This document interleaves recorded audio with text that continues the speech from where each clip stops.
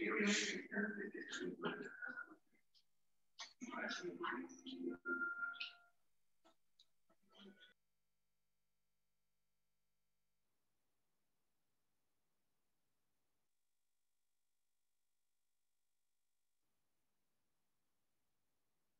ういうことなかったでしょ。だから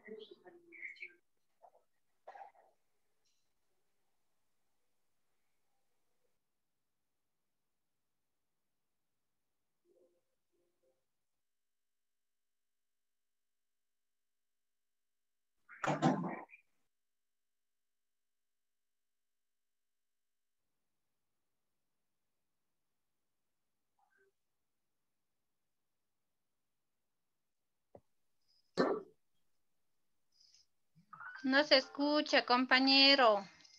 Buenas noches. Sí, en verdad, no se escucha, compañero. Buenas noches. Buenas noches, compañeros.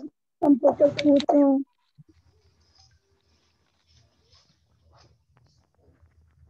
Hola, hola. Ahí sí. Ahí, ¿se escucha? Sí, gracias. Sí, ahí se escucha. Ahí sí, sí, gracias. Muy bien, muy bien, muy bien, gracias. Un gusto saludar, como les decía. Bienvenidos a, a compartir esta jornada, esta tarde. Por favor, eh, de la manera más comedida, el- los micrófonos eh, tengan apa- apagados porque va a haber interferencia y se va a grabar distorsionado toda la clase. Tengan mucho cuidado con los micrófonos. Bien, lo que yo decía es, para entender un poco la epistemología de la medicina ancestral, es importante partir de qué es la filosofía. Cuando hablamos de filosofía, prácticamente es un término que viene de Grecia, eh, de dos vocablos que es filos y sofía, que significa amor y saber, ¿no? Eh, es decir, en pocas palabras, es el profundo deseo, es el profundo, innato, que nace en el ser humano por descubrir del porqué de la vida, del porqué del significado. No porque alguien te obliga, ojo. Porque todo el mundo hacemos por obligación, porque alguien te dice que tienes que hacer deberes, que el lunes tienes que ingresar a clase, si no ingresas 01, y es obligatorio el sábado, no es obligatorio, o sea, como que la obligación es una parte que nos ha quedado en nuestra sangre, en nuestra mente, pero la filosofía es, es algo innato que nace de cada ser humano, esa necesidad de entender por qué Dios, por qué curo, por qué existo, por qué mi apellido, a dónde voy, quién soy, encontrar esos, esos, esos significados, concienciar esos procesos, ¿no? En conclusión, es eso. Así pues, eh, las primeras definiciones atribuidas a Pitágoras será amor por el saber. La filosofía se ha constituido como un saber racional, ojo, racional, que sintetiza las ideas de un discurso o sentido. Para corrientes filosóficas del existencialismo, la filosofía debe ser un despertar para el hombre. Bien, eh, la otra, la otra, el otro punto es entender qué es la cosmovisión. ¿Qué es la cosmovisión? Ahí vienen dos cuestiones. La filosofía como la cuestión macra o la madre del conocimiento, ¿no? Y luego dice, eh, como que para los, los andinos entienden como cosmovisión, ellos hablan de cosmovisión, y el occidente habla de filosofía. Por lo tanto, la diferencia es aquí, ¿sí? por lo tanto, la cosmovisión lo definen como conjunto de opiniones, creencias que conforman la imagen o concepto del mundo que tiene una persona, de acuerdo a la época o a la cultura, a partir del cual interpreta su propia naturaleza o existencia. Está involucrado la historia, costumbre, lengua. Determina la forma de actuar. Determina actividades a la medicina, al arte, el derecho, la religión, o ciencia. Entonces, cuando hablamos de epistemología, debemos entender desde dos corrientes, que lo plantea Occidente como filosofía y cosmovisión en la parte andina. Pero cuando, cuando plantean de dos maneras a la cosmovisión lo ven como inferior, como más bajo. Como que primero es la filosofía y luego como que hablar de cosmovisión es hablar de sus creencias, de su cultura, de su imagen, de sus tradiciones y punto, ¿no? Bien, hasta ahí llega a las actuales eh, investigaciones, eh, propuestas que muchos autores lo plantean desde cosmovisiones, desde filosofías, etc. Bien, en cambio, nosotros en la actualidad vamos más allá de la cosmovisión. La epistemología parte de la filosofía que estudia los principios, fundamentos, extensiones y métodos del conocimiento humano. ¿Cómo logro entender todas esas diversidades? ¿Cómo logro entender, cómo logro entender el significado de la lengua? ¿Cómo logro entender el significado el conocimiento del por qué cura la mama coca, por qué la madre naturaleza cura o no cura, el huevo, la orina, eh, las montañas curan o no curan, después de la muerte, ¿a dónde voy? ¿Hay vida, hay paraíso o no hay paraíso? Ahora, ¿cómo lo hago? A través de métodos. Los métodos científicos, de acuerdo al occidente, hay algo. Bien, la epistemología andina son principios fundamentales, extensiones y métodos del cosmocimiento andino. Ya no hablamos cuando hablamos de epistemología andina, no hablamos de conocimiento, porque el conocimiento es encontrar la verdad y punto. Pero el cosmocimiento es, va más allá de encontrar una verdad, va a una interrelación cósmica de, todo el universo, es decir, del Hanan Pacha, el mundo de arriba, el Kai Pacha, el mundo de aquí, y el Ucupacha, el mundo de abajo. O sea, no es un simple conocimiento, ejemplo, no es simplemente cuando dice 2 más 2 es 4, el niño dice 4. ¿Por qué? Porque dos unidades con otras dos unidades sumado me dan 4 unidades. Es el conocimiento. El niño sabe y dice bien, la profesora dice bien, él sabe bien, rapidito y por lo tanto 10. El niño no puede, se confunde por lo tanto en 7. El niño no tiene ni idea de qué es número, pues tiene que repetir el año, ¿no? Viene así, pero el cosmocimiento no necesariamente va por allá. O sea, cuando hablamos de conocimiento necesariamente hay el, bueno, el medio y el, vaguito, el dejado. Pero en la construcción del cosmocimiento no existe ni bueno, ni malo, ni peor, ni, ni, ni, ignorante, no existe. Todos somos uno o no somos nada. Bien, eh, eh, en, vez de cosmovisión, nosotros planteamos como visión cósmica o cosmovivencia. Cosmovivencia o visión cósmica no es lo mismo que cosmovisión. Hay muy pocos autores que todavía publican, acá casi no hay, nosotros estamos vamos a publicar un artículo relacionado a esto. Algunos topan a veces de otra manera, pero la mayor parte hablan de cosmovisión y filosofía. Visión cósmica o cosmovivencia no es igual. La diferencia es que en visión cósmica es, repito, construcción del conocimiento. Es decir, si el niño sabe dos unidades más dos unidades son cuatro, pero el cuatro es un número mágico que es Tawa. Por eso hablamos del Tawa Intisuyo, las cuatro regiones del Sol. El Tawa es número 4 y, el Chusco, el 4, 2 más 2 son 4 y encontramos cuatro elementos en la vida. El fuego, el aire, la tierra, el agua. ¿no? Encontramos los cuatro suyos, las cuatro regiones, Antisuyo, Contisuyo, Chinchaysuyo y Coya suyo. ¿no? Entonces el niño construye un cosmocimiento de, una, de un estado de conciencia de qué pasa arriba, qué pasa aquí, qué pasa abajo, ¿qué, ¿por qué tengo que aprender el número 4? ¿Qué significado tiene cada cosa que aumenta? Por eso es cosmocimiento, no un conocimiento en nosotros. Ahí está la diferencia cuando hablamos de cosmovivencia y visión cósmica, porque el niño, el yacha comienza a visionar, comienza a tener un, estado de conexión del mundo de aquí con el mundo espiritual. O sea, eso es cosmocimiento.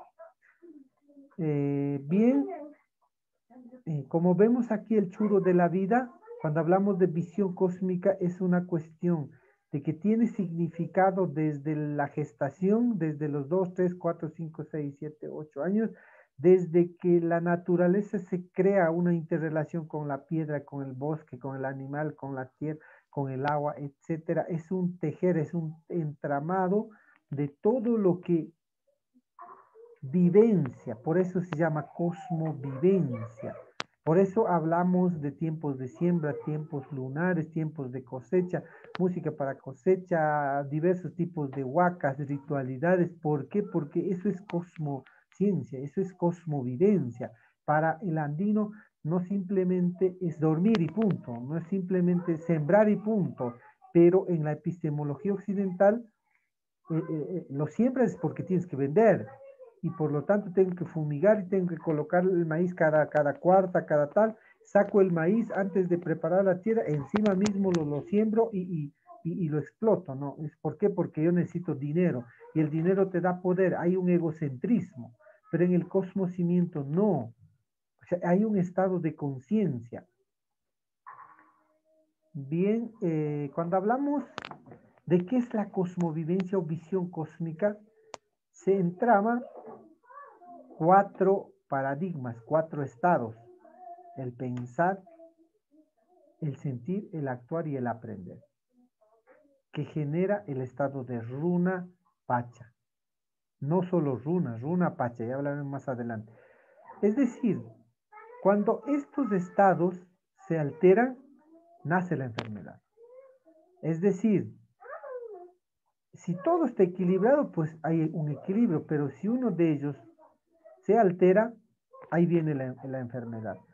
Y la enfermedad, desde la visión cósmica, no es mala, porque la enfermedad, todo el mundo decimos que yo no quiero enfermar. Algo extraño lo que pasa en el ser humano es que quiero curarme, quiero sanarme, quiero estar bien, quiero un yacha, quiero un terapista, quiero un reikista, yo no sé. ¿Por qué? Porque el ser humano busca no enfermarse, no ser pobre que nadie me hechice, que la plata no se termine y que tal vez no muera. Exige mucho. Exige algo que en la vida no está, en la ley de la vida no está, en el causa. No está. Algo para mí, yo lo diría algo absurdo. ¿Por qué? Porque la muerte es parte de la vida. El no tener es parte de la vida. El a veces no comer es parte de la vida y que haya algunos problemas es parte de la vida, por eso es causa.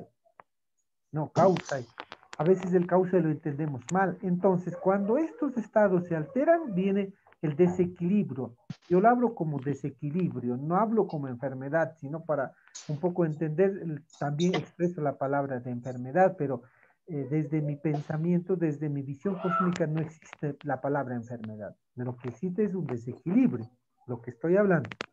Es decir, si el estado del pensar es alto, viene la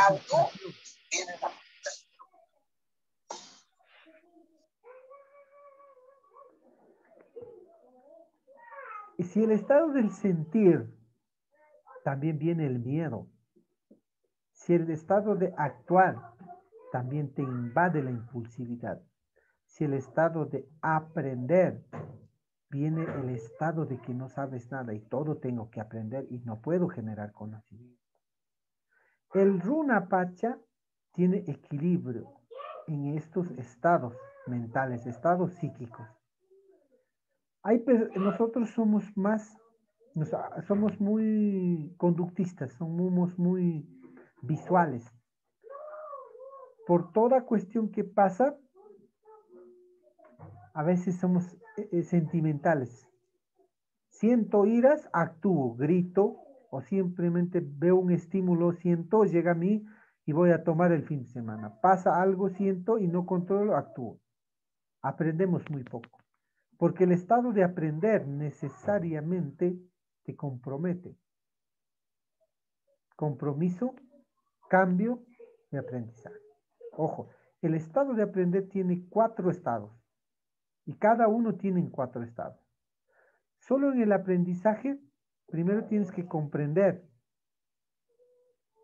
luego tienes que comprometer, luego tienes que compartir.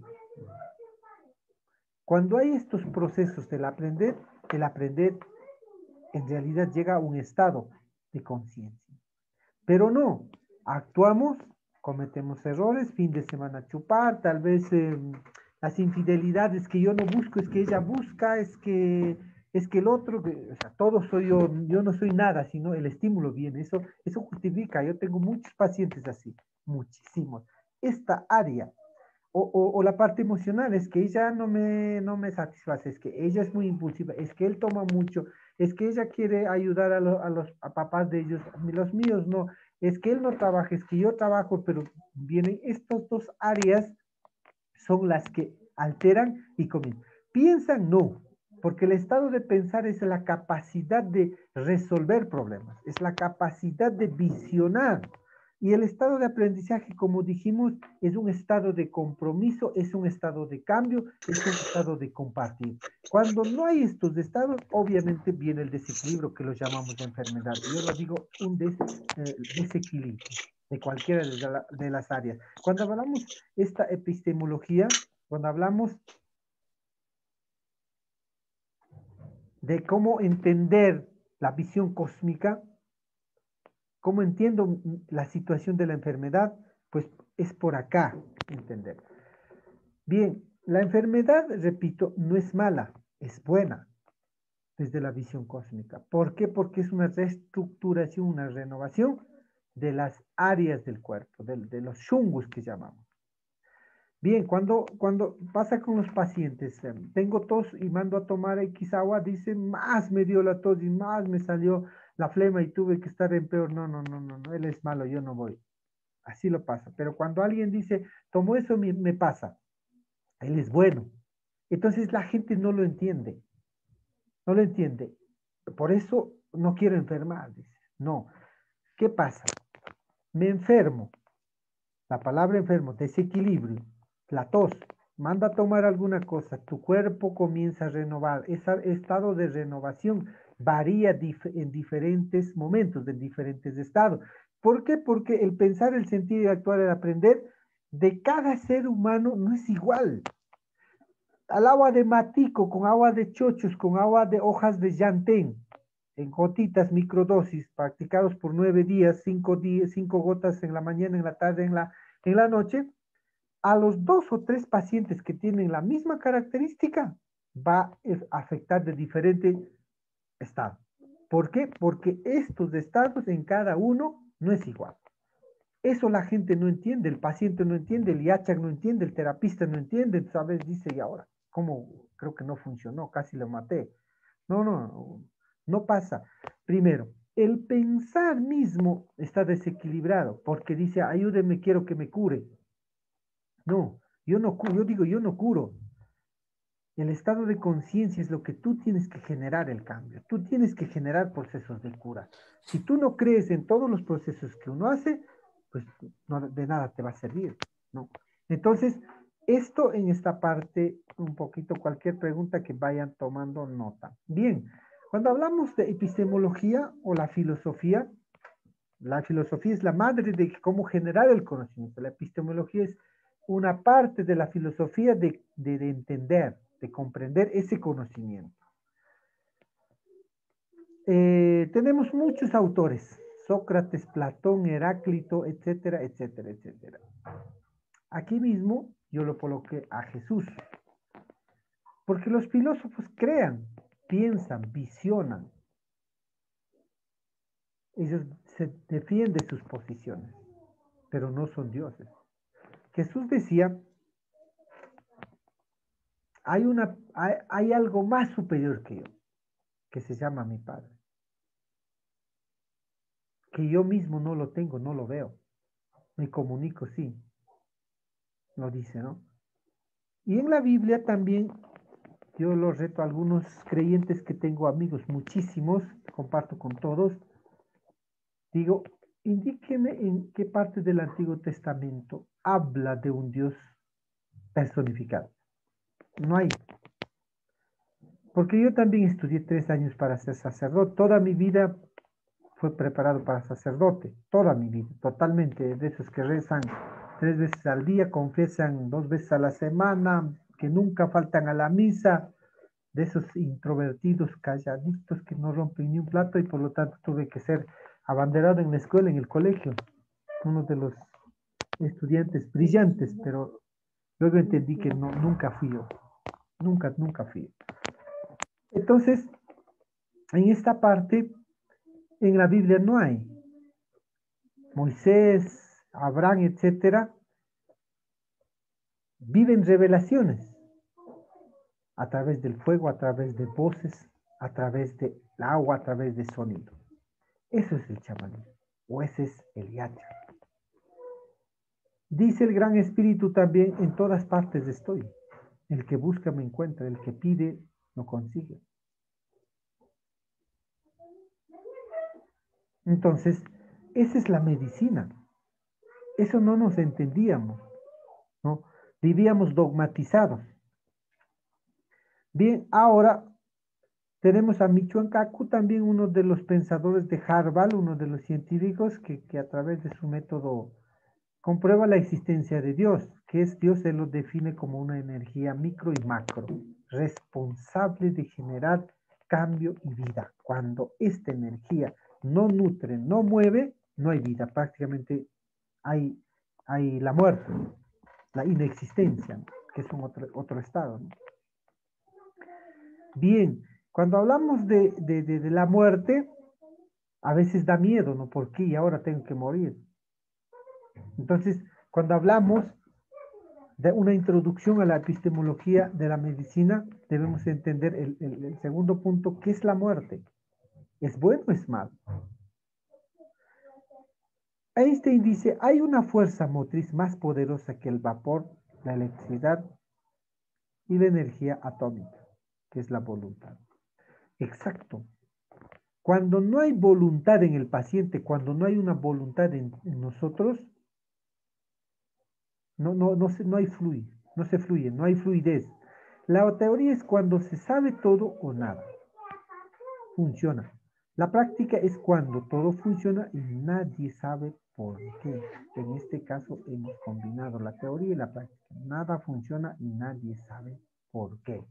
A eso llamamos nosotros antes que Albert Einstein lo, diga esto, nosotros llamábamos los Yuyai o las Hamtis, que son saberes. Por eso es complicado entender un poco la epistemología porque ahora, ¿cómo ves como hoja de coca todo? Es que es sabiduría, no es ciencia. Y cuando es sabiduría, el método científico, el occidental, la filosofía occidental dice, eso no sirve. ¿Por qué? Para que sea ciencia, conocimiento, tiene que ser observable, comprobable, aplicable y funcional. Cuatro paradigmas. Si no cumple eso, pues no sirve. Esa es charlatanería. Entonces son dos corrientes, dos corrientes epistemológicas que buscan entender y sustentar obviamente el occidental va ganando muchísimo. ¿Por qué? Porque ellos lo van haciendo visible. La receta de, de, paracetamol, ibuprofen, etcétera, etcétera, para X enfermedad comprobable. El médico estudia, pa, coge la receta, vaya. El paciente compra, toma y sane. Eso es comprobable, aplicable, verificable y compartible. A eso dice bien, eso es, yo soy el médico. Y bien, ahora, si buscamos esas recetas, simplemente el camino sería estudiar la medicina y listo. Ya tengo las fórmulas, me siento un consultorio, venga, tac, voy a tomar esto, chao. Reviso los signos vitales y chao. Y aquí no ha pasado nada. Eso es todo. Pero en la medicina ancestral no. La medicina ancestral va más allá de un simple recetario. Bien, un poco vamos a, entender las dos corrientes. Filosofía occidental, yo también lo planteo como filosofía antigua. o cosmovivencia andina, pero no, no cosmovisión. No cosmovisión, jamás lo planteo, porque a plantear como cosmovisión es que como que ellos hablan de cultura, idiomas, tradiciones y pa, como que es, un, es una historia de que ellos viven, creen y nada más. No. Si hablamos de filosofía occidental, también lo digo como filosofía andina, o cosmovivencia andina, o visión cósmica, que es otro nivel de pensamiento. ¿Qué pasa? La epistemología estudia el conocimiento científico, su naturaleza, posibilidades, alcances, fundamentos, es antropocentrista. Es decir, desde la filosofía occidental,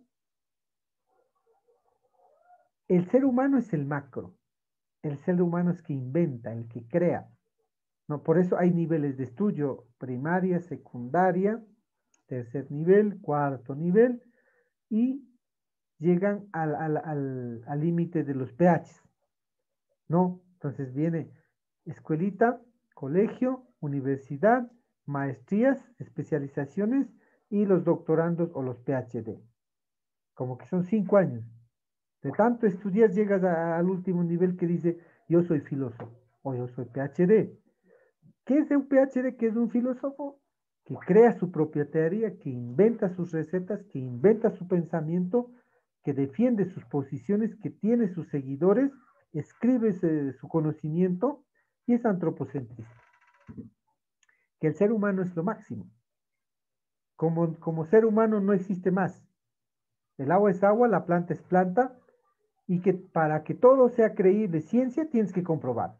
Si es que el huevo cura o curó el mal aire, yo no sé, me escribes y me compruebas por qué, de dónde, cuánto tiempo hay que sobar, qué tipo de huevo hay que pasar, qué tipo de enfermedad, y listo, me escribes y me presentas. Esto compruebo, funciona, ciencia, si no funciona, charlatanería. Ese es Occidente. ¿no? Por eso en las universidades y todo es complicado. Aprendes y pasas. Te obligan, te sientes obligado. En cambio, en la filosofía andina existe el amautismo, que se interrelaciona un poco con el PhD. Traducido sería aquí filósofo o PhD. PhD significa PH, filósofo filósofo en español. Filósofo, PH, filósofo en, inglés. La D, PhD, es doctor, doctor en filosofía. O sea, el título más grande que coge un ser humano en el occidental, estudiando, haciendo tesis, inventando, creando, estudiando cuántos años y, cumpliendo todo lo que ellos dicen, es una licencia para la comunidad científica. Hasta ahí. Pero el Amauta existía antes de la conquista, antes de que exista el PhD. El PhD nace después de la conquista y todas esas cuestiones. Pero antes de la conquista, en el mundo ancestral habían los amautas. En los Yachayhuasis, en los Tamboasis, en el Incario, antes del Incario, en la cultura caral, Nazca, etcétera, Chavín, existían los amautas. ¿Y qué eran los amautas? Los amautas cumplían funciones parecidas al PhD, pero parecidos. Pero el amauta dominaba los estados de conciencias que arriba vimos, los cuerpos. El amauta tenía esa capacidad de conexión con los con el Kaipacha, con el mundo terrenal, con el mundo espiritual. Lo que el filósofo no es. El amauta crea su teoría, escribe su teoría, difunde su teoría. Por eso toda la arquitectura que, tenemos, toda la medicina que tenemos, la preparación de cráneos, inclusive con el tumi, ya lo curaban epilepsias. Ahora, ¿cómo hacían? Ahí está. ¿Por qué no? ¿Por qué todo fue oculto? Porque vino toda la, conquista y dijo, no, estos son inhumanos, son diablos, son del Satanás, tienen que ser bautizados y todo quemado, y todos los que hablaban de esto eran masacrados. Nosotros, si estuviéramos en, la colonia, no viviéramos, jamás. Somos herejes, vamos en contra del dogma, ojo, no viviéramos nunca. Nos masacraban todos los centros, todos los pensamientos, no, no vivíamos. ¿Cómo mantener en ese masacre? Difícil fue mantener toda esta cuestión de la sabiduría. ¿Cómo se, ¿Cómo se mantiene? A través de la oralidad, a través de la memoria colectiva, que es una corriente epistémica o es un método de cómo conservar el conocimiento. Son dos métodos, la oralidad y memoria colectiva. El amauta, a más de todo lo que era, era un yacha, era un médico. Lo que el PhD no, no, no saben nada de medicina, lo que ellos saben es crear conocimiento. Y ellos están en las universidades. Pero en el Incario, en el ancestro, habían los amautas en los yachayuas. Por eso habían astrónomos, médicos, arquitectos, diseñadores, habían todo, músicos. A Mozart lo alaban, pero a los músicos ancestrales, los tucuicunas, ni, nadie, nadie le conoce y no lo difunden y no lo van a difundir, porque siempre es Occidente y así nos, nos ha tenido toda la vida. Recordemos, todos, todos nosotros aspiramos tener una chompa Lee, una chompa Diesel, una chompa Lacoste, un cabello rubio y todo. No hay audio. Todo, todo. Si me escuchan, por favor, todo lo nuestro es como algo, lo más bajo, lo más malo, lo más sencillo, lo más simple y todo lo de afuera es lo mejor. Eso nos hicieron creer. Esa, esa programación del chip cerebral, cambiar eso es el reto de nosotros. Bien, entonces explicado el amautismo que vamos a ver con nuestro hermano Amaro Caixapanta, que escribió como tres libros sobre el amautismo, la memoria de los amautas, desde Cataluña, un gran eh, cineasta, escritor, y hachag, músico, hasta ha estado en Hollywood, un indígena, muy, muy, muy mágico el, señor que tendrá en esta parte de la amautismo. El otro punto, conjunto de conocimientos observables, razonados.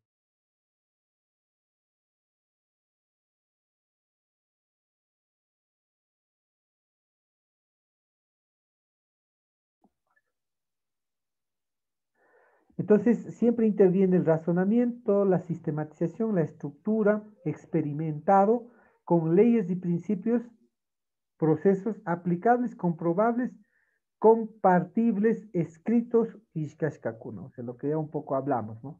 En cambio, eh, aquí en la filosofía andina es saber ancestral. Hay un dominio, apropiación, conjunto de conocimientos, depende de la interrelación del ser con el cosmos. Para llegar a estos niveles de amauta es cómo funciona a través del método oral y la memoria colectiva. O sea, cómo necesariamente tienes estas visiones, estas conexiones, lo que nuestros Yachak decían, para curar a las personas hay que hablar con la planta, hay que hablar con la montaña. Y cuando decían eso, cuando todavía inician en mi caminar del Yachak, Dije, y ahora, pero yo no creía. Decía, ya eres loco. ¿Cómo van a hablar con una planta? O sea, que la planta habla la montaña habla. Complicado. Tuve que hacer una reestructuración total de la vida para entender. Bien, un poco la muerte lo ven como negativo, duelo, fin de la materia, sin opción de transformación en su realidad. Lo ve como algo negativo que encamina a buscar algo nuevo con que reemplace su pérdida. Busca un significado para todo lo con cuide y justifica su acción. La cuestión política es ciencia y religión. Lo que pasa, ¿no? En el mundo no andino, periodos de duelo, el color negro, no sé, dos años, cinco meses, dependiendo la persona vive de duelo, es lo más callado, es lo más negativo, es lo más denigrante, no sé cómo hablar, lo ve así. Todo el mundo dice que murió tal y pecador, no pecador, está en el infierno, que está en el paraíso, tantas cosas. En, el, en la visión ancestral, ¿qué pasa? La muerte no es negativa, significa transformación. Sí, sí, Complementariedad. con el entorno, es decir, es la conversión en H. Es la conversión en H, o sea, luz. Se vuelve parte del mundo espiritual y vuelve al mundo, a la tierra donde surgió. Por ello, los rituales expresan agradecimiento y reciprocidad entre los dos mundos. Es así, en las ritualidades celebran la muerte y la alimentación al muerto. Lo que pasa en el mundo andino, ¿no? Muere, lloramos y reímos, jugamos toda la noche, hay comida, cuatro vacas, diez quintales de papas, mote, todo el mundo come, hay la chicha, risas, juego, con música, se entierra con banda, con, con, con, con percusiones, flautitas, también hay llanto. Y ahí muere y chao. Ya no se recuerda que tengo que estar sola, que tengo que estar solo porque mi marido, mi esposa murió, que dirán los familiares, es que tengo que respetar la memoria de mi difunto y todo. No hay vestimenta para, para la muerte porque no es malo, porque no es pecado, porque la muerte es parte de la vida. Por lo tanto, no hay color de luto para nosotros. Nosotros no tenemos luto. Para nosotros la muerte no es mala, es parte de la vida. No, pero ustedes dirán, pero hay, hay gente que tiene sombreros cafés o se visten de negro. Sí, eso es una, es un sincretismo. Es una cuestión de decir, bueno, papá murió, ahora me vestí de negro. ¿Por qué? Porque la sociedad influye, nada más, porque desconoce todo lo que están viendo ustedes. Qué lindo sería si en las escuelas, en las universidades, en los colegios, estos conocimientos se replicaran. No hay, no existe nada. La sociedad simplemente lleva a un camino de estandarización. Todos piensen igual en todo el mundo y, y todos quienes quieren eso, el antropocentrismo, o sea, la cultura más alta quiere dominar a la otra cultura. Yo creo libros para que ellos lean, yo creo tecnología para que ellos compren, yo digo esto para que ellos compren, o sea, eh, hay, hay una demanda, el poder económico, ¿no? Está separado de eh, eh, ese egocentrismo y separado. En nuestro mundo, el pasado y el futuro forma parte del presente, lo real, todo o nada. Acá está separado, es decir, el ayer, el hoy y el futuro. Por eso hay enfermedades. El pasado te deprime, te sientes culpable. El futuro te genera estados de ansiedad, desequilibrio emocional, iras.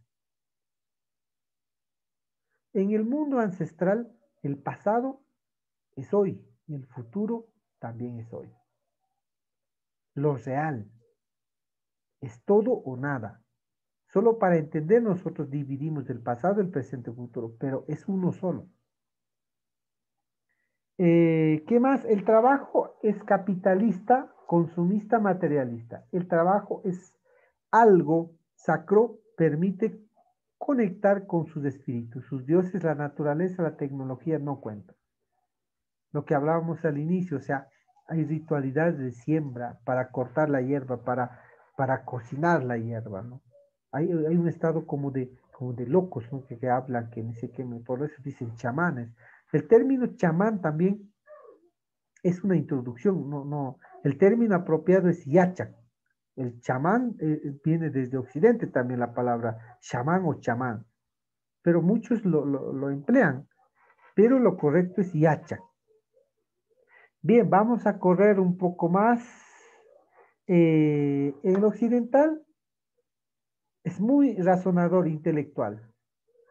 El conocimiento intelectual sensitiva afectiva. El corazón.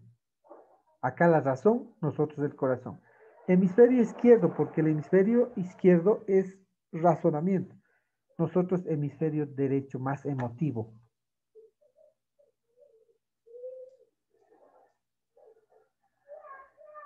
Eh, ¿Qué más?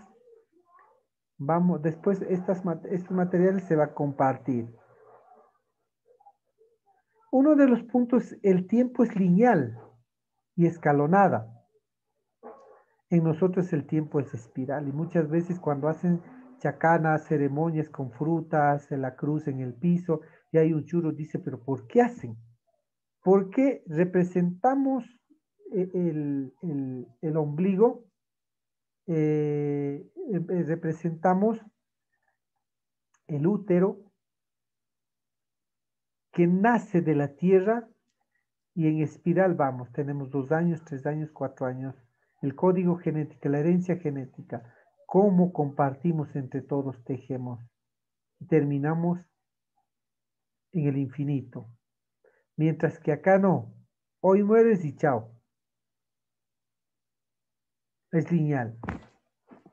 Bien, eh, vamos a ver, otro punto aquí es, eh, esto también van a ver con nuestro hermano de Bolivia, Taita Irpa, sobre el altar de Salcanmayu, yo diría Pachacuti Salcanmayu, que está en Coricancha, en Cusco, que hablando de las neurociencias se relaciona con el cerebro triuno, que es el, el cerebro reptiliano, el cerebro límbico y el neocórtex, que es esto. Antes de que hablaran las neurociencias del cerebro triuno, Nuestros ancestros ya lo tenían descrito y trabajaban en él. En conclusión, esto es como una Biblia. Génesis y Éxodo. De todo lo que es la filosofía, la visión cósmica, Andy. Es decir, aquí están representados la luna, el sol, el gran Huiracocha, el responsable de la vida, luceros, la chacana, que es el puente de conexión, cuando hacen una cruz en el piso con frutas, es esto. Están armando un altar sagrado, un altar importante para generar una atracción energética del mundo de arriba con el mundo de abajo, para generar sanación, curación. Con la madre tierra, con la Yakumama, madre agua, con, el, eh, con los rayos, con todo lo que es eh, las piedras, los árboles y aquí tenemos dos seres, hombre y mujer, dual paritario. Vamos a ver más adelante. Listo, entonces esto vamos a profundizar con nuestro hermano Taita Irpa. Acá, cuando hablamos de cosmovisión o visión cósmica, cosmovivencia, perdón, visión cósmica, hablamos de espiritualidad. En el libro de Guaman Poma de Ayala lo, representa. En este caso, no, el Dios, el sol no es Dios, la luna no es Dios.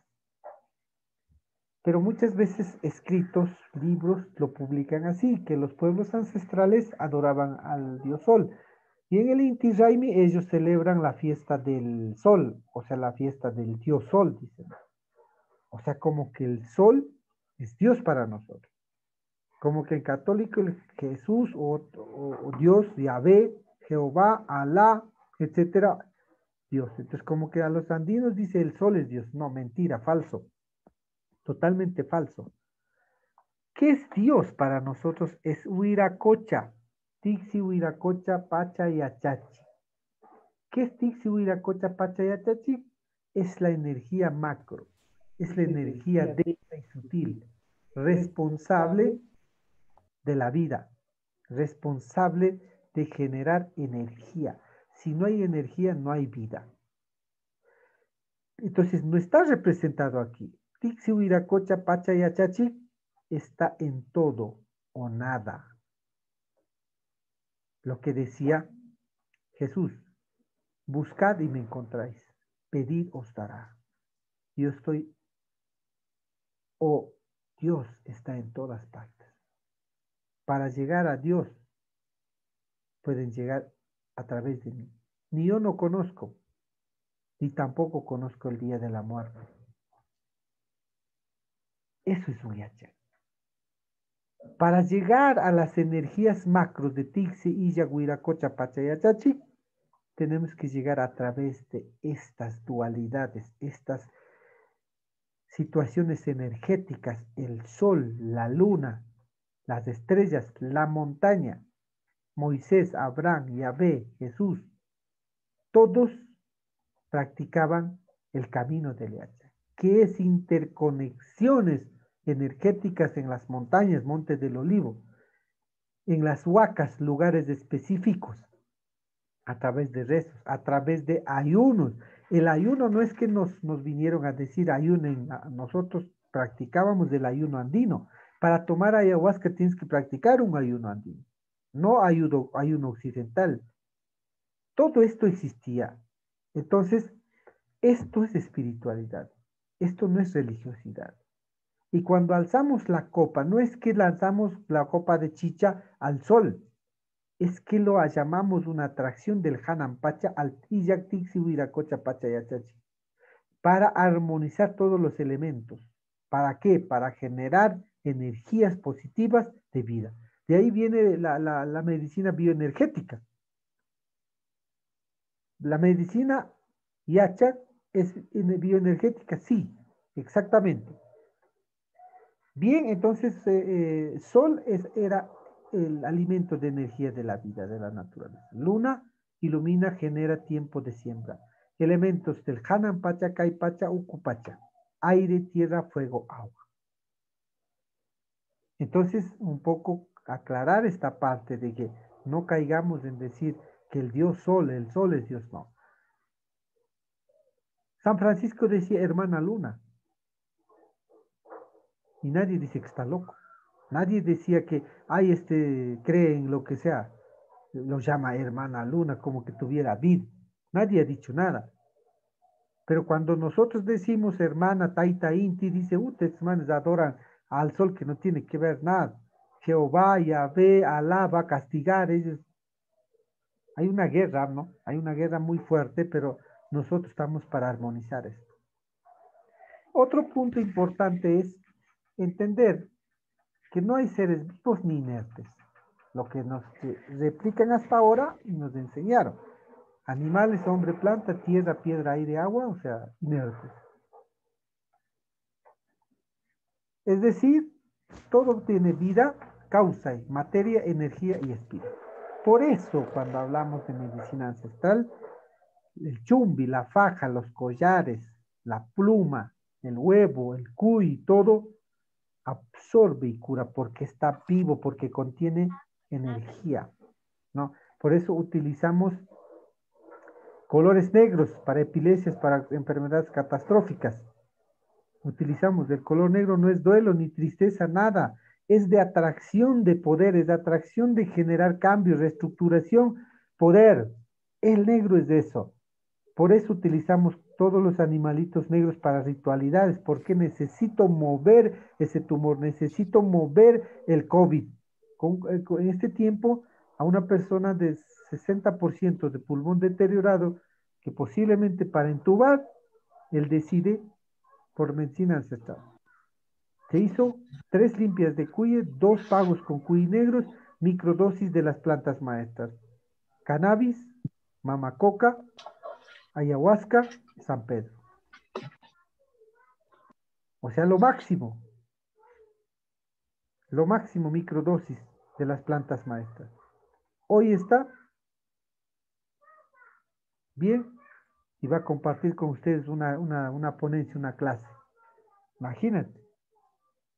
Pero cuando él también está y cuando también cree, eso genera reestructuración.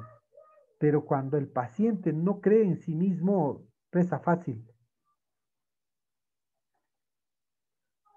Bien, vamos a entender eh, cómo se construye los saberes. Todo tiene sentido y genera un aprendizaje cosmociente y lógico, enraizado desde dos dimensiones transpersonales del ser humano, runa pacha. Runa Pacha, dos términos. Desde este estado de Runa Pacha se puede hablar de construcción del conocimiento, no un conocimiento. Desde este estado de Runa Pacha se construyen los árboles. Por eso te conviertes en Yacha. Por eso estos dos códigos, Runa Pacha, te llevan a construir una sabiduría que tú sabes y dominas. Convertirlo en una ciencia Hay que pensar dos veces. Quiero convertir en ciencia, quiero llevar al sentido occidental. ¿Por qué o para qué? ¿O quieres vivir tu propia medicina?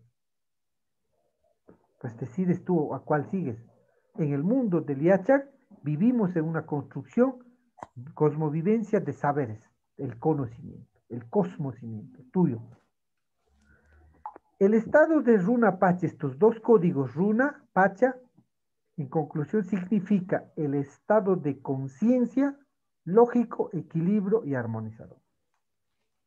Siempre está cuatro. Hasta ahora la sociedad habla de runa.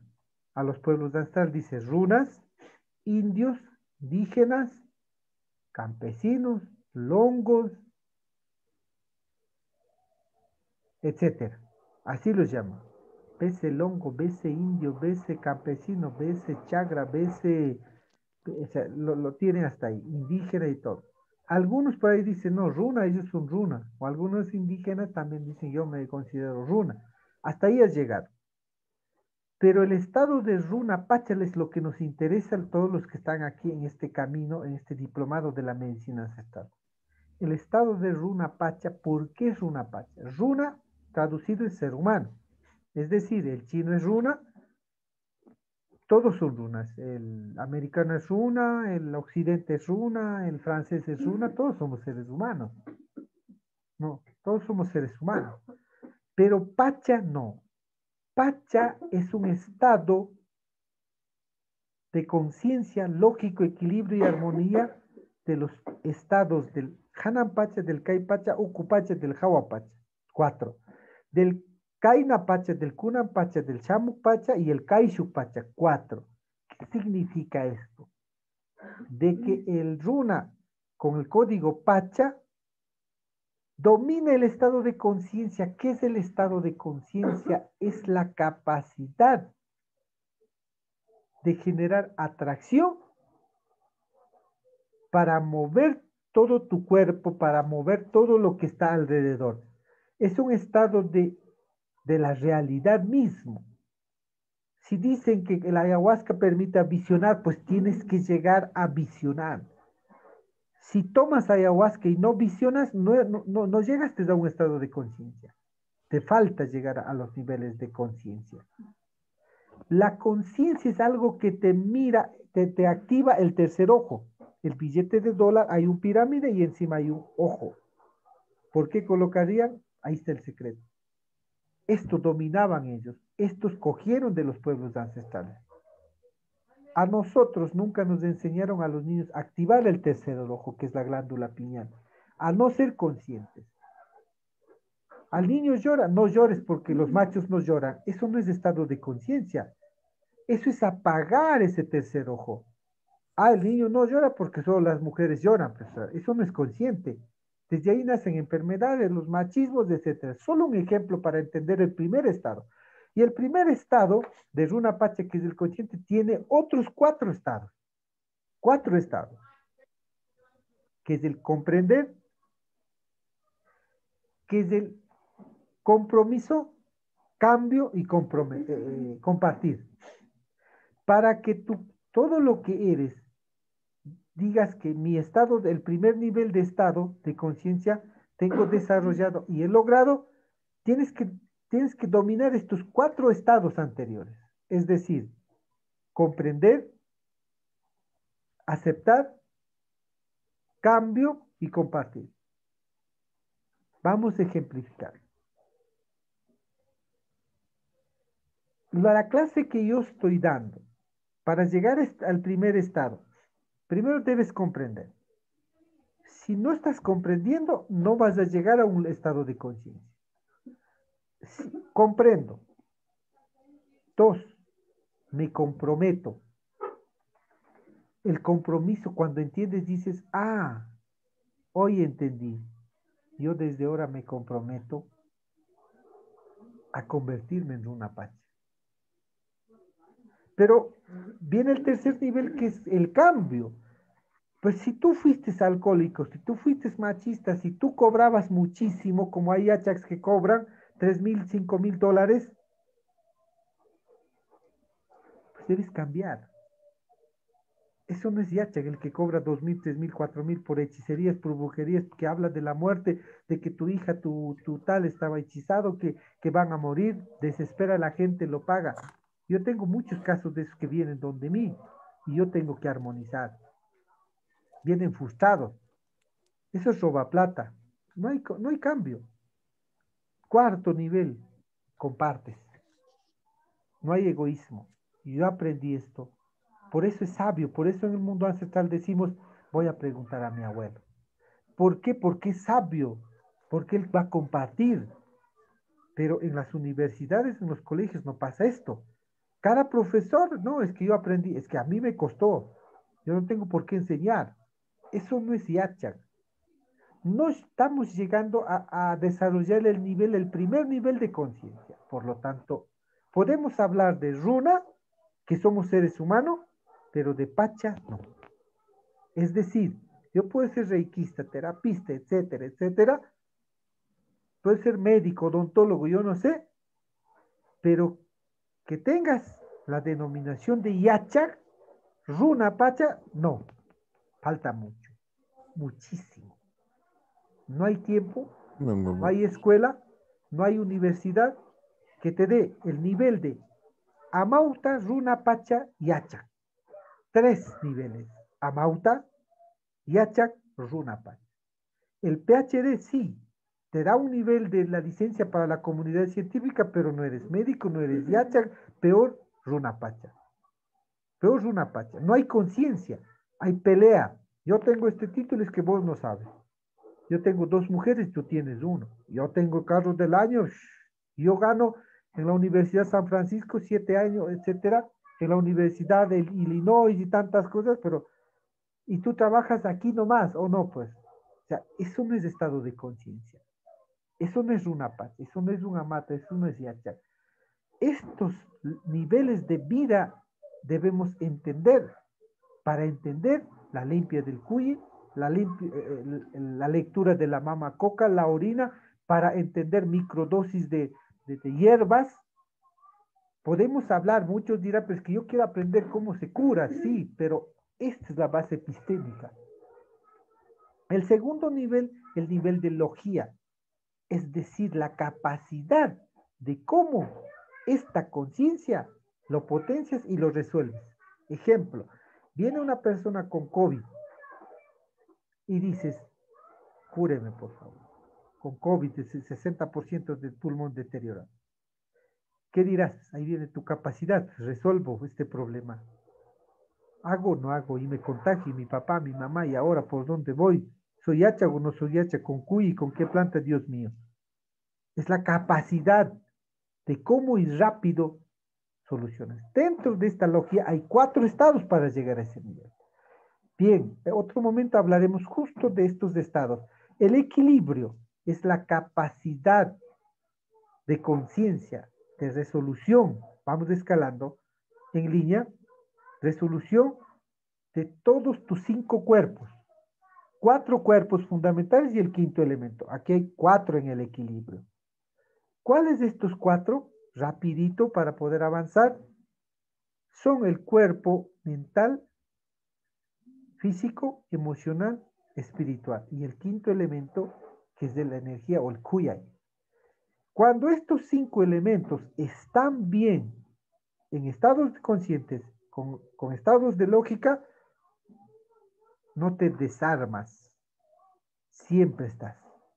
Mira, ejemplo, dice, yo creo que tu mujer trabaja en la universidad y parece que ha cambiado.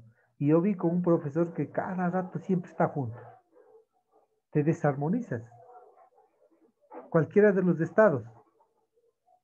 ¿Y, por qué que sí, que no vaya, no quiero que vayas a la universidad, que me dijeron esto, que esto, que tantas cosas? ¿De qué equilibrio? El Yachak debe estar mil por mil equilibrado.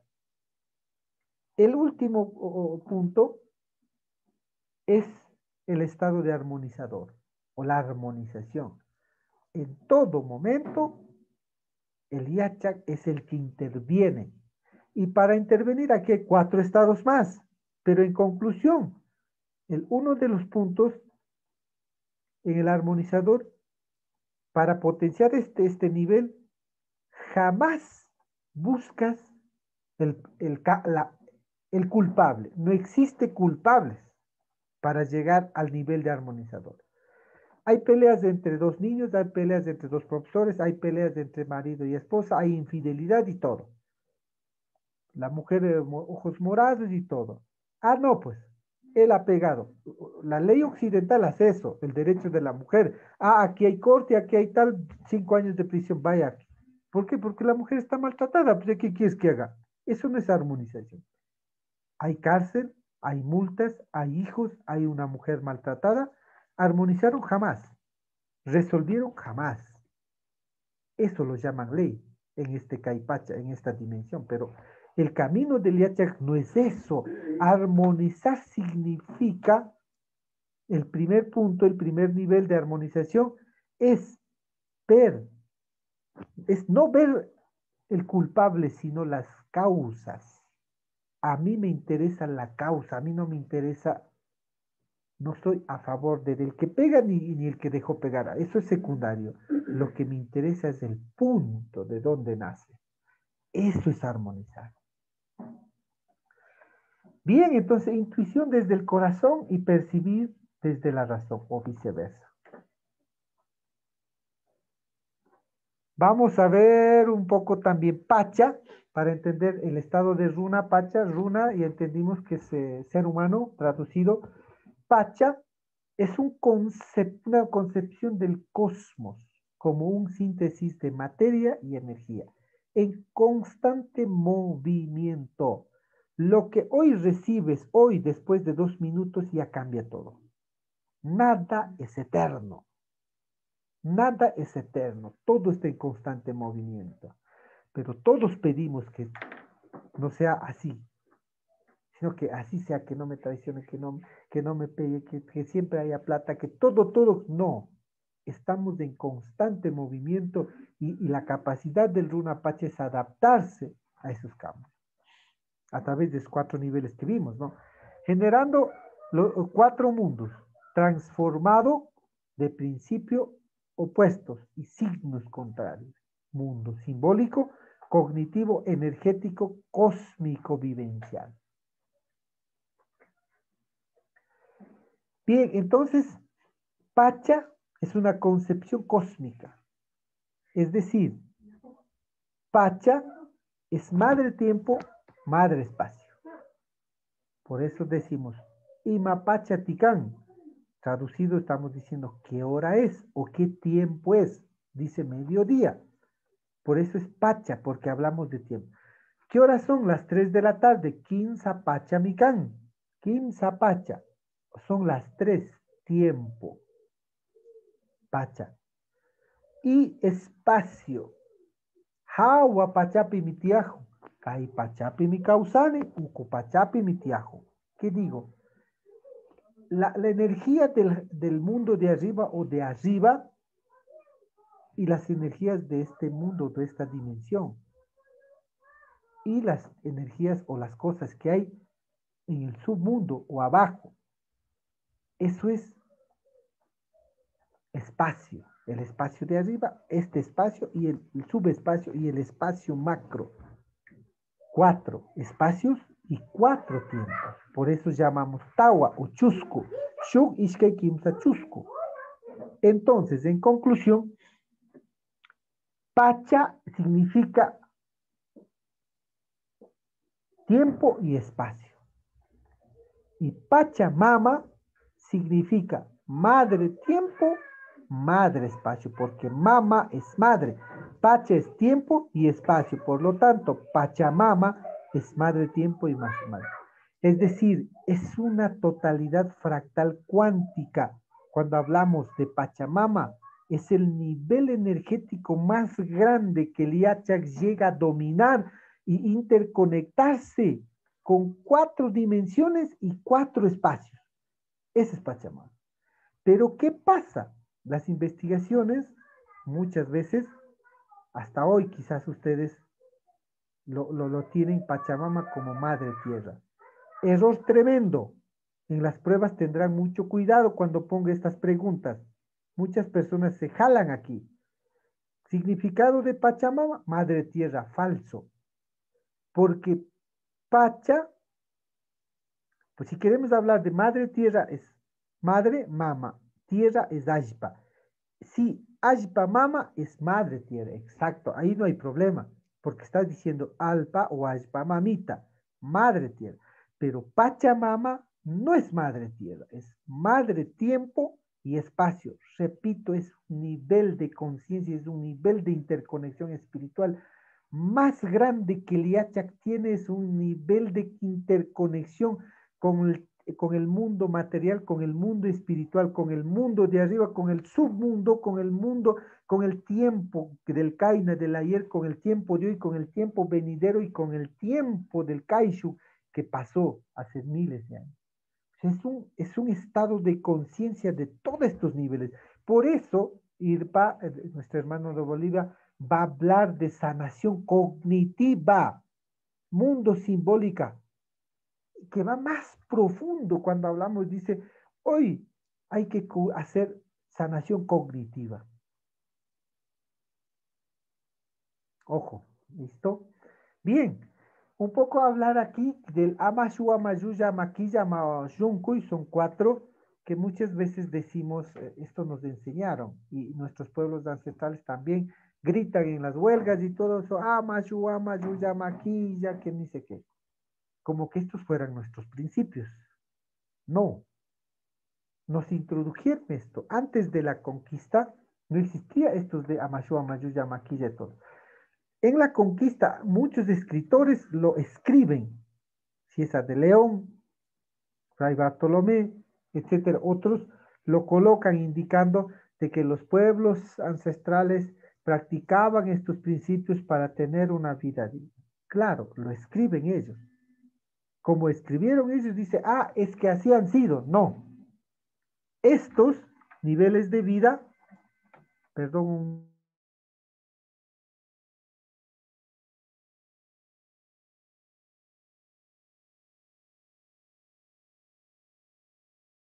¿Listo? Eh, esto en la conquista fue implementado. ¿Por qué? Para que el ancestro nos robe al amo, no sea vago, sirva no 24 horas y que muera en las mitas, en los dobraques, que no sea mentiroso, que sea fiel. El y es que no, no tenga dos amos, sino a un solo amo, para así dogmar la civilización ancestral es que no debo robar. Esto es fácil de comprobar. En nuestros ancestros, hasta ahora muy poco ha cambiado. Cuando yo era niño todavía permanecía. Las camarias también. Las camarias que eran, es que al padre, al párroco, al amo, al micho, al blanco, él sabe, es letrado y tiene que llevar huevito, tiene que llevar 12 gallinas, tiene que llevar papas, tiene que llevar porque e, él sabe, yo soy tonto, yo no sé, amito, cholito, decían, tome, cholito, amito, caica huevito, caica chucrito, acá muchamón, como que yo era inútil y él era eso. A él no tengo que mentir, no tengo que robar, no tengo que ser ocioso, tengo que servirle. Eso, eso practicamos hasta ahora. Lamentablemente la educación replica esto, el sistema educativo replica esto.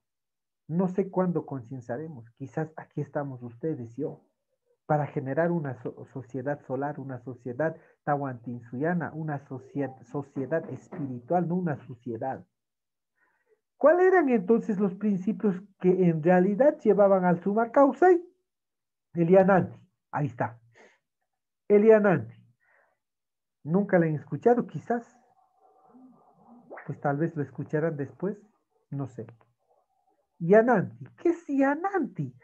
Es el reconocimiento de, en dual paritario complementario opuesto de dos elementos fractales dicotómicos. ¿Qué significa esto?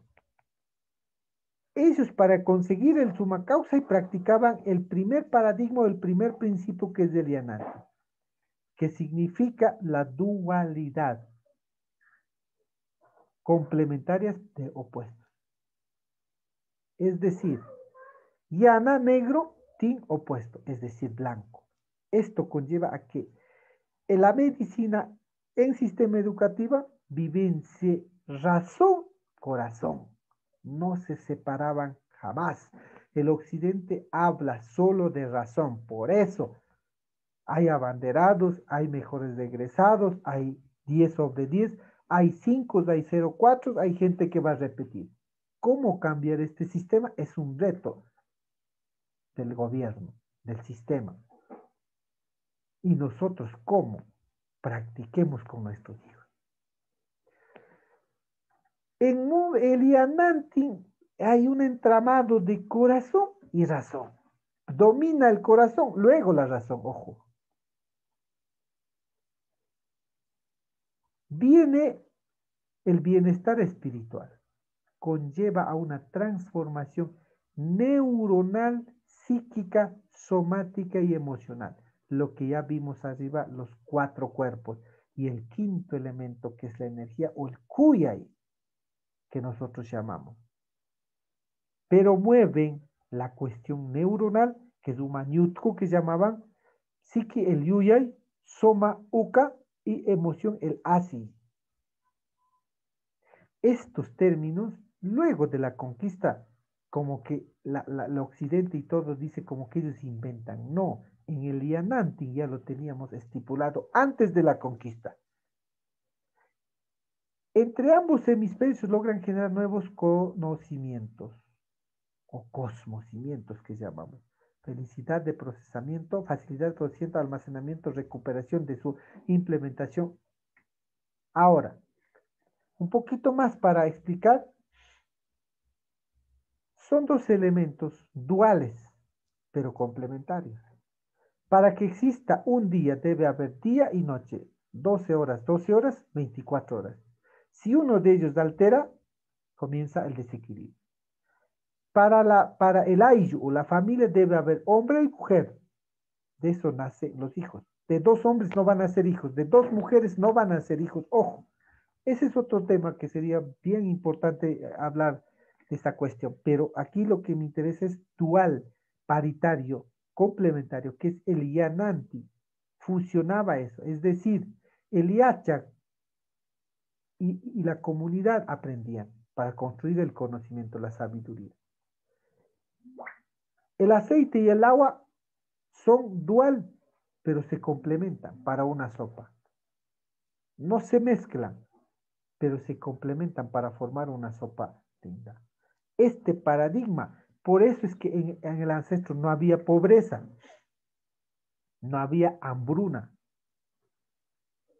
porque esto era en realidad una sociedad, una sociedad suma causa el equilibrio de dos elementos. Que sí debe haber unos que saben poco, medio, normal, bastante. Eso es el Yananti. Pero no hay una discriminación de que el mejor y el peor o no, o que debe perder daño. Todos complementan. En sí, para terminar esta parte, se complementa con la pedagogía, el paradigma de la mano. Nuestros taitas, yo tengo el libro escrito como cuatro, pero uno de los libros hablo esto. nuestro taita me decía, Maquita Rico. Me quedé mirando la mano. Y me dijo, así son los hijos. Y como soy profesor de la universidad, del colegio también fui antes, así son tus estudiantes. Y me quedé pensando. Tú nunca trates a tus dedos, ¿cuánto les pondrías? Digo, yo los quiero y no tienen notas. Exacto. Así vas a encontrar a tus hermanos. Unos gorditos, unos que saben, unos flaquitos, unos que tal vez no pueden entender, otros que entienden mejor, otros que sí, pero todos forman tu mano. O, o, serías capaz de cortar este porque es muy largo, o porque es gordo, o porque este no funciona. ¿Cuál utilizas más? Yo digo el pulgar y esto. Pero este, como dices que no utilizas, entonces costa, pues. Hazle perder el año, dije. Y me quedé pensando, me quedé pensando mucho tiempo y, lo escribí. Esto como pedagogía de la mano o el principio del maqui. Para conocer, para generar conocimiento y sanación. Esto es el Yananti. El segundo principio es el Tinkui choque de opuestos. complementario. Encontramos la geometría sagrada fusionado en el cuadrado mágico. Choque de opuestos, el círculo femenino y el cuadrado masculino. Esto está en la chacana. El cuadrado cari, rumpa o círculo, guarde. Esto va generando duplicaciones. Aquí encontramos otro cuadrado, otro cuadrado, otro cuadrado. Es decir, en realidad no es una chacana, o sea, en realidad no es una cruz así, así como lo ven. En realidad es un cubo, es un cubo dimensional que das la vuelta y por todo lado encuentras el cuadrado y el círculo, o la chacana, por todo lado. Es como un cubo que da vueltas y vas por todo lado, esto nunca va a terminar. No es un cuadrado como la cruz occidental. Esto no, no es así. El Tinkuy es, como dice, es un choque de un pueblo, de, opuestos. Por eso hablamos de la canción Tinku, por eso hay el Tinkuy de, de, la cultura otavalo que genera este conflicto. Pero este conflicto no es de discriminación, de guerra, de yo soy grande, yo soy menor, no. Eso se llama guerra, pero el Tinkuy no es una guerra, no es una masacre, no es masacrar, etcétera, etcétera. Un minuto, por favor.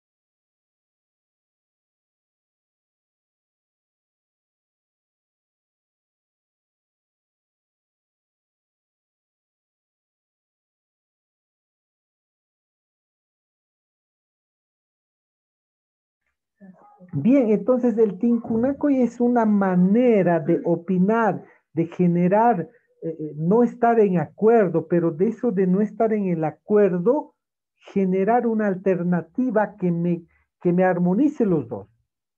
Por eso en el ancestro, en el incario, en las culturas ancestrales, había esto.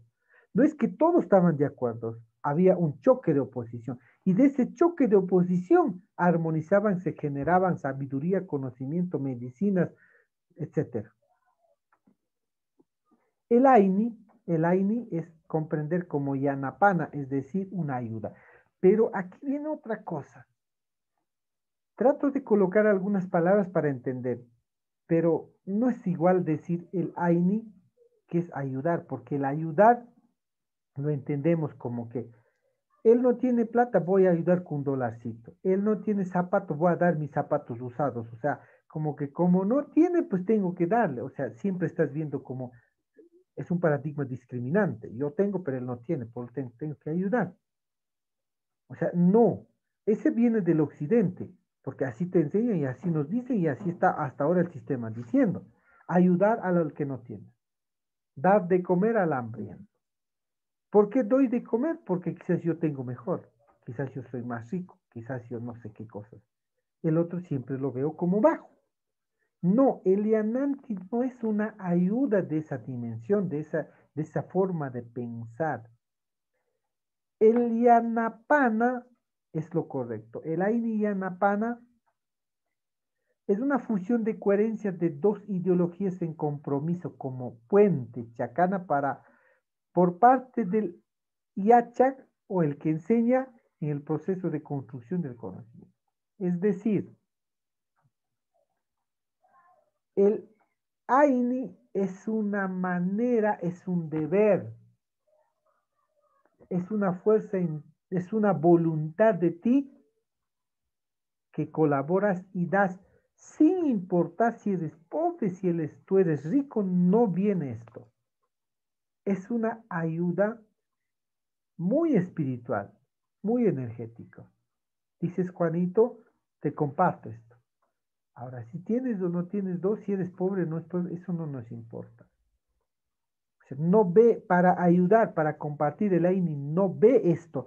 Pero hoy en la actualidad no practicamos el AINE, practicamos la ayuda, sí. En Navidad, ¿qué hacemos? ¿Dónde habrá un pueblo más pobre para ir a dar de comer allá? Pues, eso no es AINE. Porque eh, ahí está dominando un principio de que, ay, pobrecito, tengo que darle a ellos. Y si no fueran pobres, pues no lo darías, es lógico. Entonces no hay, no hay el AINI, pues. Bien, la minca lo vemos como un trabajo grupal, pero estos trabajos grupales en todo el momento uno hace, el otro pone nombre y chao, se va. En realidad la minga, el trabajo cooperativo sin una ambición económica, más bien con una visión de respeto, bienestar dentro del ayllo y la comunidad. El ayllo es el aquí eh, predominante, la visión del ayllo para la minga. O sea, hay una voluntad, hay un estado de conciencia para que sea minga. No es que tú haces esto, yo hago esto. No, todos trabajamos en función de, de, un modelo, de un objetivo, de una, de una, de algo que queremos lograr en interrelación. La minga es algo que te ayuda a crear, desarrollar entre nosotros complicado esto, ¿no? Entre Yachax, conflictos entre Yachax, el que cobre, el que sabe más, entre Yachax es que él es mestizo, el que él es indígena, es que el cholo no sabe, es que esto, que el afro, que la medicina hindú y tanto, hay, no hay minga, no hay minga. Muy, muy pocos están entendiendo el paradigma de la minga. Estos son los cuatro principios. Bien, ya para terminar, eh, en sí de todo lo que hablamos como introducción a la epistemología o la filosofía andina o la visión cósmica, para entender del por qué la lectura, del por qué las plantas nos curan, las ritualidades, los taris, las mesas que vamos a ver a futuro, parten de todo lo que vimos. La chacana, que por qué hacemos la chacana y que cómo hacer las chacanas, vamos a ver, pero parte de esto. El tari, que es una mesita de tres telitas, ¿qué parte de esto? Por eso digo, esto es como una introducción macro de todo lo que vamos a ver. Bien, este código, este símbolo, este gráfico que, hemos creado, aquí está todo lo que hemos visto. Aquí está todo representado. Recuerden que aquí está una cruz, aquí está un círculo, aquí está un cuadrado. En sí, esto es un cubo, lo que decía antes es un cubo, no es, un, no es una cuestión horizontal o delgada, ¿no? Es un cubo. Por todo lado hay figuras. En sí, ¿qué representa la chacana? No es un, una simple cruz que en, las Inti y los Capagraimis y todo el mundo hace la chacana y bailan, comen o las frutas a, a montones, cada quien agarra lo que pueda, luego pisan las flores, no ustedes que hoy están en este diplomado, es un lugar, es un altar, es un puente de interconexión dual paritario de todas las dimensiones pachas que vimos. Es que tú atraes en un Raimi, un Raimi, un Raimi, atraes energía, atraes sabiduría. Buscad y lo encontrarás. En todas partes estoy. El ti huiracocha pachayachachi, que lo llamamos Dios, no es macho ni hembra. No te ve como pecador ni, ni, no, no, pecador, no te ve ni mejor ni peor. No te ve como indígena ni, ni, ni, ni como afro, no te ve. Te ve como hija, hija de la Pachamama, de la Madre Tierra. Que somos tú, yo, yo soy tú que el día nace para todos, que el alimento se produce para todos, que, el sol nace para todos, no solo para X culturas. Eso significa esto. En sí está el símbolo del cuadrado, el símbolo del círculo, masculino, femenino, está la Y de Yananti, el paradigma los cuatro, Tawa, recuerden los cuatro, el número cuatro, Tawa o Chusku, el primer cuadrante del Yananti, el segundo del Tinkuy, el Aini y la Minca. Forman un cuadrado. Forman una interconexión del Hanan Pacha que vimos Del Caipacha este mundo, del Ucupacha el mundo de abajo, y el Kaishupacha, que es la esfera ilimitada que no tiene límite. El otro, que el, tiempo del Kaina, que es ayer, el Kunan, que es ahora, el Shamu, que es mañana, el Kaishu, que es el tiempo que pasó, que nunca lo vamos a encontrar. Nunca lo vamos a recordar tal vez. Cuatro tiempos, cuatro espacios aquí. Por eso es un cubo. Es todo o nada. Porque cuando entendemos por segmentos, te, te desarmas, viene el COVID, viene cáncer, viene muchas cosas. Y en base a esto tú generas loadas, rezos, pagos, ceremonias, hierbas para curar. Está también que hay la parte de información que hay que revisar, que hay que investigar. Hay que tener experiencias, vivencias, cosmovivencias con Uyachak. Tengo que tener esa experiencia. Para llegar a, yo a estos niveles, tuve que pasar por 50 y muchos Yachak, de paciente, de investigador de comprobar cuál es yacha, cuál no es yacha, quién inventa, quién no inventa, por qué cobra, por qué no cobra, qué hierba manda, qué no hierba manda, porque no hay academia que te dé recetas. Eso se llama vivencia. Luego vienen los contenidos, como estos, que es de prepararse, de formar. Y luego viene la espiritualidad, no religiosidad. La espiritualidad es entender cómo ama al prójimo como a ti mismo. Que antes de esta frase del ama al prójimo como a ti mismo, existía el wauki pura y el ñucanchi pura. Es decir, tú eres tú, yo soy yo. El amar al prójimo, el código que te dice, ama al prójimo como a ti mismo. ¿Quién es el prójimo? Todo el evangelista, el sacerdote, el mormón, el afro, el indígena y todo, pero te dice, ama como a ti mismo. Ojo, ese código es tremendo para mí. Pero antes de este código había el wauki. El wauki, tú eres yo, yo soy tú. En el Inca practicaba esto antes de la conquista. Pero eso no te enseña nadie. Es como que la cultura fue tan ignorante, tan que tan, tan, tan, tan, tanto que no tenía ni escritura, así lo declaran. Y que el occidente vino, enseñó la escritura, enseñó la escritura, enseñó el conocimiento, enseñó todo, no, falso.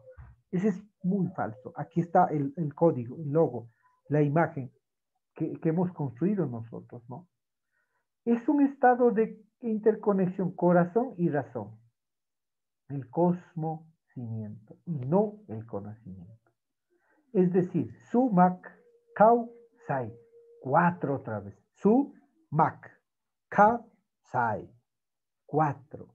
En sí, el suma causa. No entendíamos y qué. ¿Y qué es el suma causa? Es esto. El suma causa y muchos están interpretando, no, pues el tener título, el tener caro, platita y ayudar a la gente porque yo tengo, yo tengo la vida buena. Creo un Dios, tengo mi mujer, tengo mis hijos, están estudiando. ¡Wow! ¡Qué vida que me ha dado! Eso lo llaman el suma causa. No. Eso, eso es allí causa y puede ser. Pero el suma es esto. El causa. ¿No? En sí, llegamos al nivel de runa pacha, que significa el estado de conciencia, logía, equilibrio y armonizador. Cuando lleguemos a estos niveles, pedimos bienvenidos al mundo de Yacha. Bien, creo que he compartido, sí, todo para ir terminando.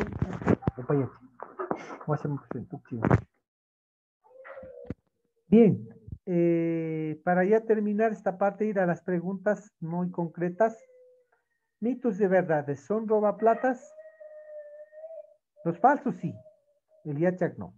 Brujos, el falso sí, el Yachak no. El Yachak no es brujo. Cuando alguien dice amar, es que mi mujer vuelva, que ese negocio vaya a la quiebra, que el vecino muera, si existe el libro de la magia negra, si existe brujos, si hay existe brujos indígenas, exacto. Pero el Iacha no es brujo. No confundan el Iacha con el brujo. Es decir, el Yachak sabe, sí, sabe. Puede hacer, sí, pero no debe hacer. es el código. El código del causal. Saber, poder, pero no lo haces. Ese es el código de ética del Yachak. Pero el que rompe esta regla no es Yachak. Llámate brujo, yo no sé. Y hay muchos que hacen.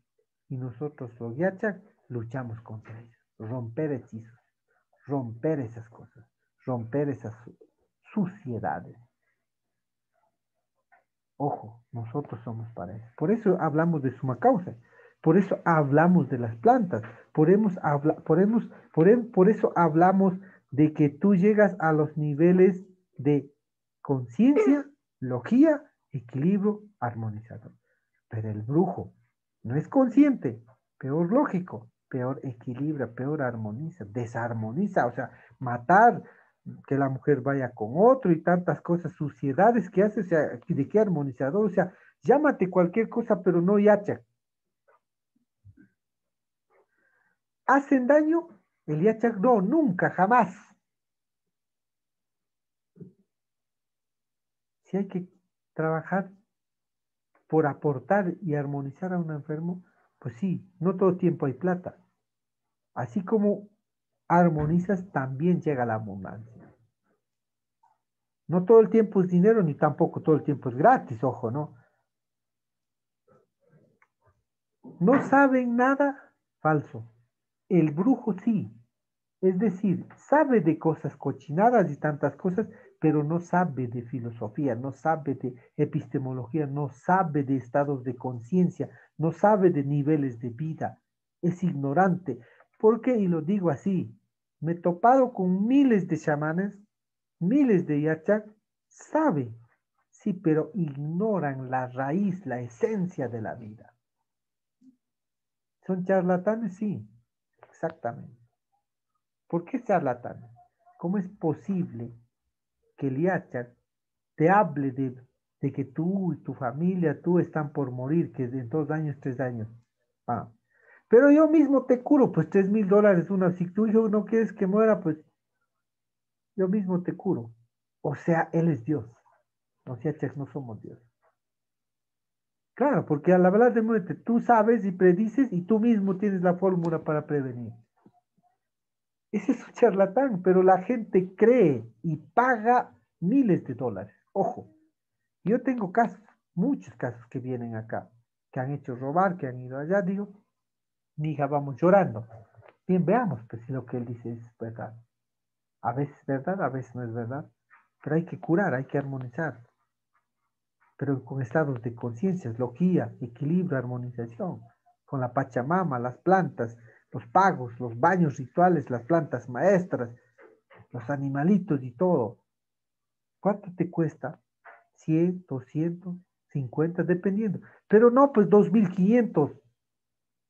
Hay gente que roba. Es charlatanería.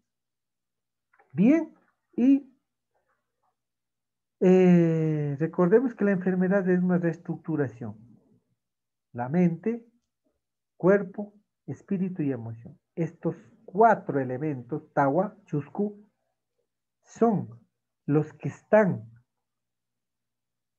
en estado consciente, lógico, equilibrio y armonización. Cuando tengas estos cuatro estados, eres una pacha porque tu mente está en estado consciente, equilibrado, armonizado, tu cuerpo equilibrado, armonizado, tu espíritu equilibrado, tu emoción, espíritu, ese es el yatsa. Y la energía que es el cuya, el amor. Tu mente lo amas, lo, lo, quieres, lo que tú hablas. Lo que yo estoy dando, crean o no crean, estoy dando con todo el corazón y lo que puedo. No estoy cohibiendo nada, no me estoy limitando nada. Y amo, y en verdad les digo, amo lo que yo hago amo lo que yo hago, o sea, hago con todo el corazón. Mi cuerpo, tal como soy. Mi esposa, tal como soy. Como yo digo en las charlas, hasta hay que amar hasta las guatas. Agarrar y decir, pero te quiero con todas las patas. El espíritu, pues el otro dice que soy evangélico, pues no me hables de evangélico. Ven, hermano, come. Siéntate. Tú eres eh, eh, sacerdote, no, hables de sacerdocios, pero tú eres tú, yo soy yo. Ven, hermano, vamos. Y algunas veces, como soy músico, me invitaron a iglesia evangélica a hacer música. Vamos. Y si hay que decir aleluya, ¿y cuál es el problema? La sociedad es el problema, pero el espíritu se tiene vivo. Con alzar la mano, decir aleluya, bailar, entrar a una iglesia como padrino de la iglesia católica, ¿quién te dice que es malo o es bueno? Tú y la sociedad. Pero el Yachak no es espiritualista porque vas a armonizar estados de conciencia del Runa Pacha. Bien, si en la iglesia hay que estar silencio, estoy silencio.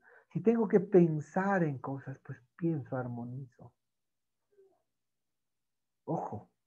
Y la emoción, eso es un poco complicado. A veces por alguna cosa nos descuadramos, a veces la ira, a veces, Dios mío. A mí me tocó trabajar y me está tocando, y me toca también trabajar. Soy muy sincero, porque los siete tampoco somos perfectos. Y por último, trabajamos los cinco, los cuatro shungus. Shungu, dice shungu nanag, me duele el corazón. En el occidente hablamos solo del corazón, pues, uno nomás. El corazón es corazón. Pero en el mundo andino, cuando queremos hablar de la medicina, de hombre y mujer medicina, hablamos de Kiyushungu, Pokashungu, Yanashungu y Urashungu. Desde aquí nacen virus, parásitos, eh, bacterias y hongos. Que la medicina occidental, en base a esto, receta. Con Taitairpa y con otros taititos van a ver todo lo que estoy hablando también del virus, tal, los eh, parásitos y todo.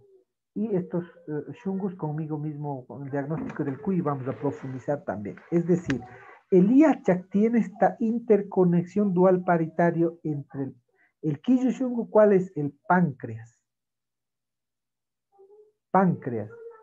Cuando vemos en el cuy aquí hay problemas de diabetes, síntomas de diabetes. Páncreas, ¿no? Es el Kiyushungu responsable de todo el sistema endocrino. Y luego viene el Pukashungu, que es el corazón rojo, por eso es puca, que genera oxigenación, aire. Este recuerden que filtra, trabaja procesos de azúcar, procesos de, de, de, de, orinas, filtración de orinas, por eso se llama el endocrino. Cada uno tiene circulatorio. El hígado, que está la vesícula, cuando hay piedritas en la vesícula, cuando esto no funciona, ojo, tenemos el Yurak que el bendito COVID va directo acá. Está atacando este Shungu, este cuerpo. Hay que trabajar este cuerpo muy bien. los alveolos, los, los, bronquios, ojo, el Yurak En base a esto, ya después vienen las enfermedades, las plantas hay que tener qué plantas es bueno, qué planta hay que limitar acá, qué planta, qué como, qué animal o qué sangre, qué, todo, todo, todo, todo, todo. Ese es el IH. Ese es el IH. Listo, los textos que se publicaron y hemos llegado a algunos links. Estos materiales voy a ver si hasta mañana ya estamos trabajando, habilitar la plataforma, dar el usuario y la contraseña entren al aula virtual, lo descarguen esta, esta presentación y todas las presentaciones de los profesores que van a compartir, algunos los videos de la clase, tienen que hacer unos deberes que ahí mismo es de colocar y leen y pueden hacer en grupo, pueden hacer individual, subir a la plataforma. Y así comparto otros videos que tienen que observar, otros textos que tienen que leer. Y así vamos tranquilos. Van a perder nadie la vida nadie pierde, para mí. Bueno, otros profesores dirán pierde, pero yo no estoy en eso. Estoy en otros niveles, porque todos valen. Y como hablamos de la mano, recordarán en eso. Nadie pierde, todos son ganadores. Cada quien, cómo llegan a los niveles, eso es otra cosa. Porque si, si calificamos esos niveles de llegar a niveles de, de a niveles de Runapacha, eso no se puede calificar. No hay calificación porque cada ser es único. Tú tienes tus códigos genéticos, tú te alimentas como puedes, tu pensamiento es diferente, tus estímulos, que es tu esposo, tu, marido, tus hijos, tus vecinos, esos te armonizan o te desarmonizan. Entonces, llegar a estos niveles, calificar esto, es una discriminación fuertísimo. No. Y el ser humano no puede valer un 10 ni un 20 ser humano va más allá. Si yo te debiera calificar al ser humano, no, no tengo número. Y si yo califico uno, imagínate, ya estoy matando. Pues digo que no sirve para nada. Y el ser humano en la vida vino no para, para ser inservible, sino para servir. Y ustedes están sirviendo. Y, y por lo tanto, están preocupados de notas, no estarán allí. ¿Y qué más? Esto, pues bien. Eh, unas dos, tres, cuatro preguntitas concretas para ir finalizando.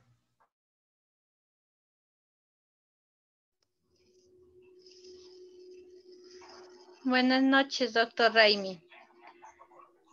Y por agradecerle este, esta exposición muy buena para ir conociendo, eh, me gustaría, no sé, para que me ayude aclarando en esos de, de los ayunos, el ayuno occidental y el ayuno andino, no sé, en qué consiste.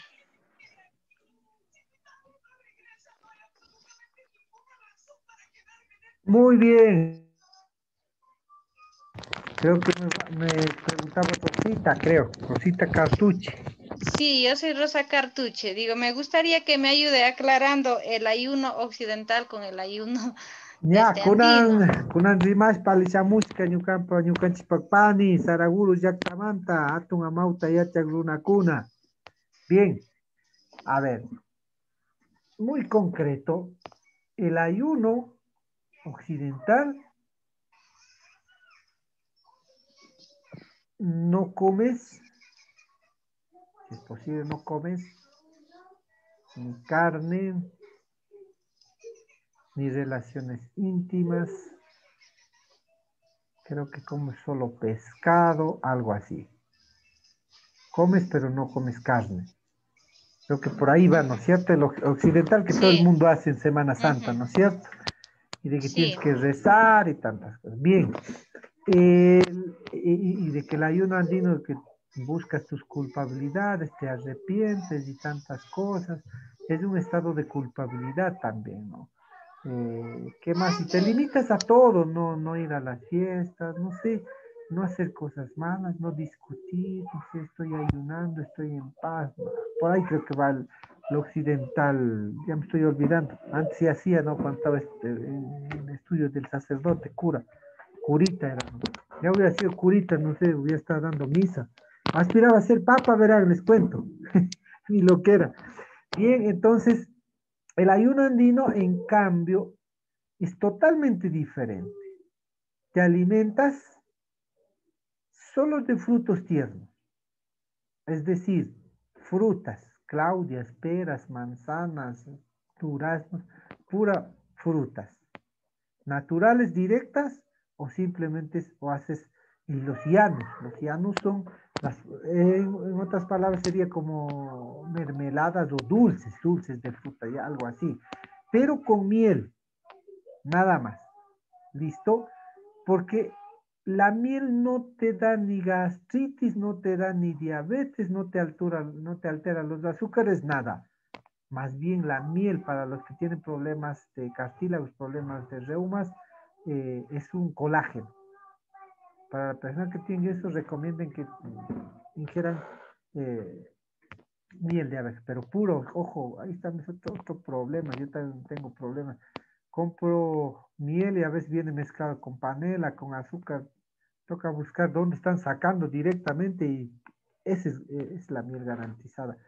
A veces como medicina te puede hacer daño también, no si es que está mezclado con azúcar. Eh, eso, el otro, pétalos de flores. Pétalos de flores que parece locura, ¿no? esas florcitas del trébol, trébol blanco y trébol rojo, esas bolitas, las rositas silvestres que son chiquititas, no esas rosas ligadas, no, no, no, no, todo lo que es pétalos de florcitas. Hay muchas flores en el campo, en las montañas cuando vamos nosotros, hay unas como trompetitas, hay unas como amarillas, hay unas como rojitas, coleccionamos y lo comes, son dulces, pétalos de rosa. Y aguas, aguas de hierbas, en especial las hierbas calientes, no frías. Bronjil, hierba luisa, manzanilla, eh, todas las hierbitas. La verdad. Entonces, pétalos, frutos tiernos y, ¿cómo se llama? Eh, agüitas. También eh, el ayuno andino consiste en caminar descalzo, un tiempo, X tiempo, descalzo, y a la vez es que tienes oportunidad de enterrar tus pies en una arena caliente, excelentísimo. Ahí estás justamente haciendo una interconexión con todos los elementos de la Pachamamita, ¿no? Y buscar una parte que, que, haya viento, ¿no? Justo en una parte alta que sopla un viento y te abres y te vas limpiando el ayo, o el haya, o el, o el espíritu, te dicen, ¿no? Ahí quedas ahí, esa corriente de aire, ¿no?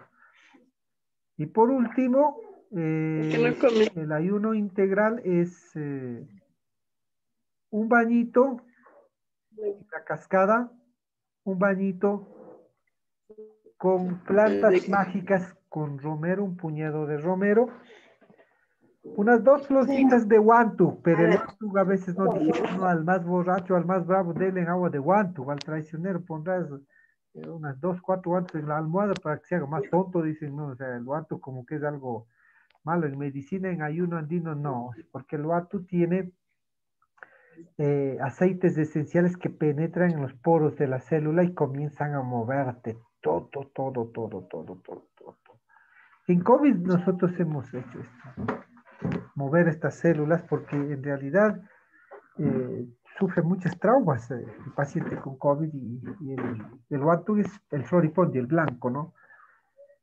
Y si pueden eh, hacer unos ahumaditos con incienso, el incienso deben construir ustedes y los que venden en la plaza también son buenos. Recomendable, ojalá veamos un tema de cómo construir incienso. Ahumarse, ¿no? La casita, tú con tus hijos el espíritu. Recuerden que el ayuno andino es colectivo en Ayu. Si son dos, tres, cuatro es en Ayu, no es solo tú. No es individualista, recuerden, no es antropocentrista, ¿no? Es un Ayu. Al hablar de ellos es en colectivo, ¿no? Todos o nada. Si yo, el esposo no me está haciendo el ayuno, el otro no, pues entonces se rompe esa atracción, ¿no? De bienestar. Listo. Bien, ¿alguna pregunta, algún comentario, algún aporte?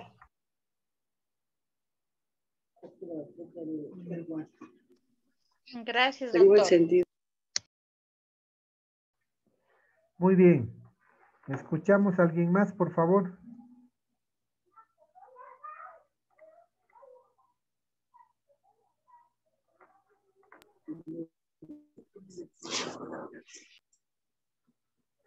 Bien, aquí hay una pregunta, dice Gerard. Eh, ¿Cuál es la diferencia entre IACHA? Hola, hola. A ver, le escucho una. Hola, hola, le escuchamos. Buenas noches. Buenas noches, este, mi estimada maestra. Eh, quería mm, decirle sobre lo cuando dice que hay que dar y a veces no esperar recibir. Yo creo que si damos, eh, y no recibimos nada, eh, sufrimos un desgaste de energía de nuestro cuerpo, de nuestro conocimiento, y, entonces nos empobrecemos, ¿no? Entonces, pero si recibimos eh, de la otra parte la misma cantidad, entonces nos enriquecemos, y nos enriquecemos los dos, porque si no crearíamos pobreza, ¿no? Pobreza de todo, ¿no? Entonces, eso. Y el verdadero ayuno también, sobre todo para un yachak o el que está yendo al, al, a hacer yachak, debería primero pues ayunar en estar callado, o sea, y no revelar mucho sus secretos, eh, eh, porque no es nomás de dar el conocimiento a cualquiera, ¿no? Porque se puede hasta matar con el conocimiento que estoy yo recibiendo ahorita. Ese conocimiento es para un yachak mismo, porque puede morir, con las palabras solamente de decir Huiracocha o, Pachacama, puede morir la persona porque es una palabra fuertísima. Tiene que tener ya su inti bien abierta para poderla asimilar. Entonces, eso. Y entonces, y, bueno, ahora estoy en problemas porque he pedido al Gran Espíritu limpiar mi cabeza para poder tener limpia y recibir eh, cuánto he pedido recibir esta inteligencia, esta sabiduría. Entonces, ahora la estamos recibiendo. Esperemos que los compañeros hayan borrado su mente el pasado, el presente y el futuro para que venga a sí mismo el pasado, el presente y el futuro nuevo, limpio. Y poder, porque realmente yo sabía todo, pero en realidad he estado equivocado en algunas cosas y ahora con este nuevo conocimiento de, de su merced, de esta universidad, de la medicina ancestral tradicional, milenaria, por cierto. Entonces, muchas gracias y ese es mi aporte para los compañeros de los Entonces, el ayuno es primero, pues uno, eh, estar callado, ya, y recogido, donde no haya ruido, porque si hay ruido no sirve el ayuno, bueno.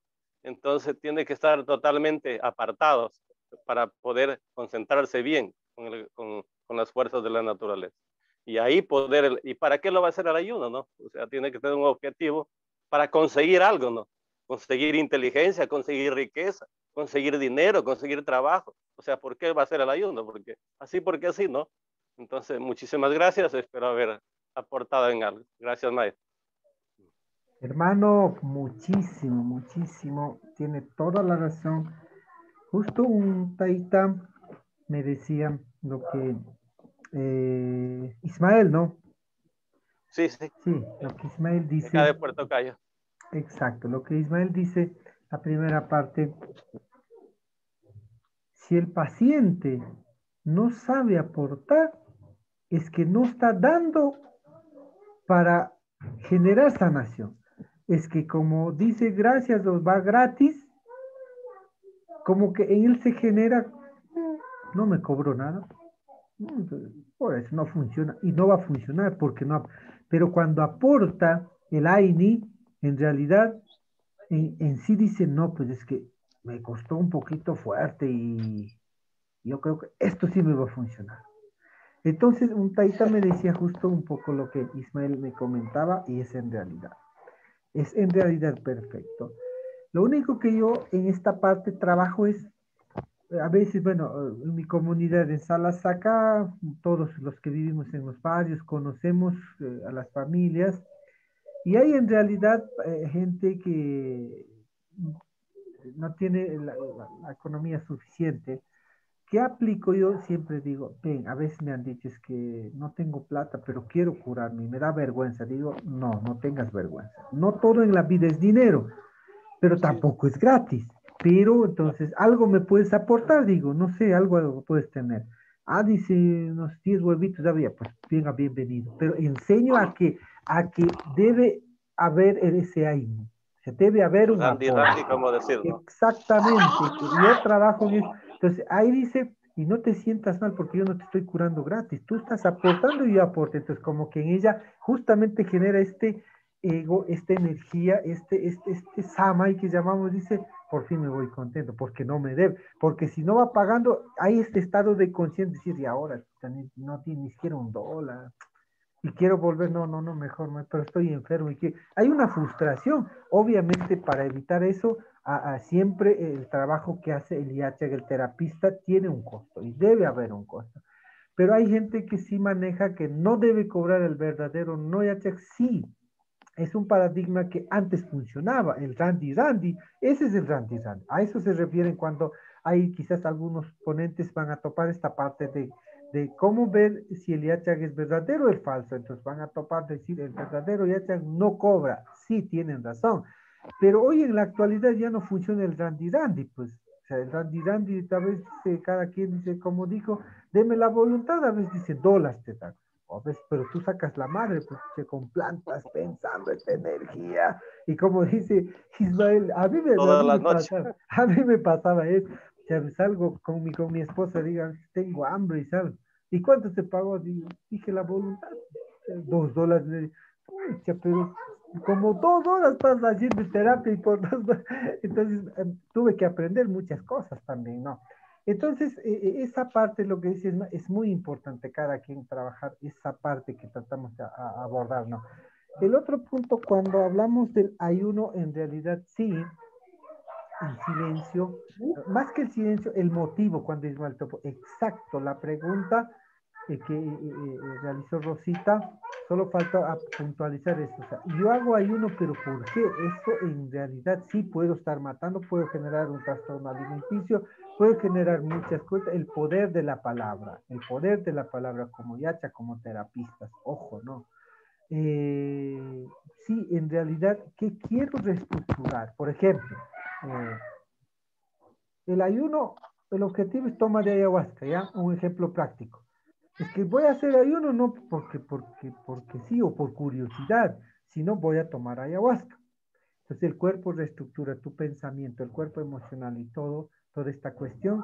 ¿Por qué? Porque vas a hacer una interconexión con el poder de la planta sagrada del ayahuasca, para que comiences.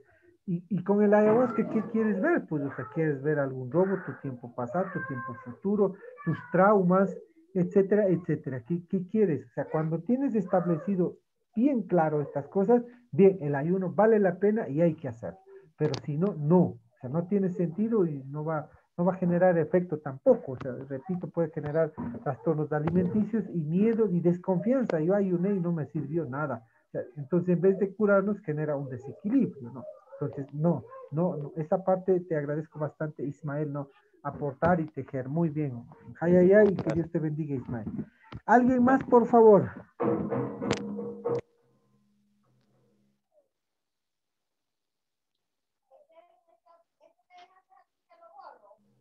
Decibel está pensativa, está triste con la madre de la... no, buenas noches con todos. Más bien estoy reflexionando. Em, bueno, yo he tenido la oportunidad de ingresar a, a, estudiar el idioma quichua, entonces ustedes saben que en esto no solo es el idioma, sino justamente me han dado introducción a toda la cosmovisión eh, en, este caso y, estoy comparando, eh, gracias a Dios, no me siento perdida con ciertos términos, los comprendo y me siento muy feliz aprendiendo, absorbiendo aprendizajes. Así que Dios le pague. Gracias, Cecibel, muy amable tu intervención, tu palabra. Eso nos fortalece a todos, ¿no? Todo, especialmente a mí. Eh, que en la vida hay que hacer muchas cosas y esto, hacer lo que uno se ama y estoy aquí para poder compartir, ¿no? ¿Alguien más? Vamos, por favor, finalizando.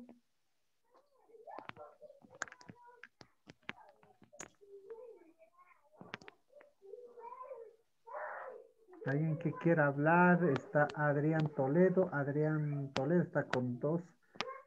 Eh, Glenda Villamaigua, Luis Cecibel Cecilia Cabascango, Luz Cartuche, Margarita, Mauricio, Mercedes Rodríguez, Mónica Prado, Norma, Pedro Azaquibay, Roberto Cujilema, Rosa Cartuche, Rosa Pomavilla, Javier Verdugo y listo. Ya está registrada la asistencia. Como queda grabado, ya digo, ellos ya es ingresar. Bien, alguien más, por favor, vayamos. Eh.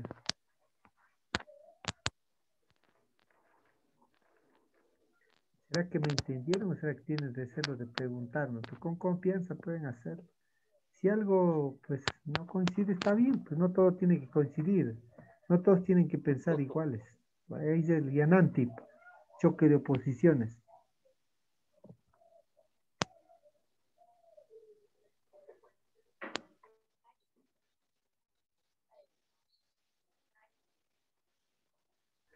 Bien, a todos, eh, agradecer profundamente por la existencia, por su tiempo. Sin ustedes no haríamos nada tampoco. Yo sé que ustedes son los, como granitos de arena. Yo sé que ustedes duplicarán más, compartirán más. Eso pretendemos, formar una nación de personas con diferentes pensamientos que armonicen con conciencia que tengan una forma de vida diferente, no de sufrimiento. Estoy muy alegre y estaremos el miércoles con nuestro Taita Irpa de Bolivia. No se perderán dos jornadas. Muy bien, muy Y el bien. sábado no vamos a tener ninguna clase, por eso el viernes vamos a trabajar en vez del sábado, porque les cuento que sábado vamos a estar en Cuenca, en Chuloma, algunos taitas, mi persona haciendo algunos trámites, algunas cuestiones, en- de repente alguien que esté de repente en Cuenca, lo podemos eh, compartir en Cuenca y tendremos el miércoles el lunes, ¿no? Listo, que Dios les bendiga, a dormir bien, descansar bien. Chao, chao, nos vemos. Juya, ya, igual, Kipanikuna. Un abrazo fuerte. yupay tomatuta. Chao, chao. Yupaychani, yupaychani, minchakama. Minchakama.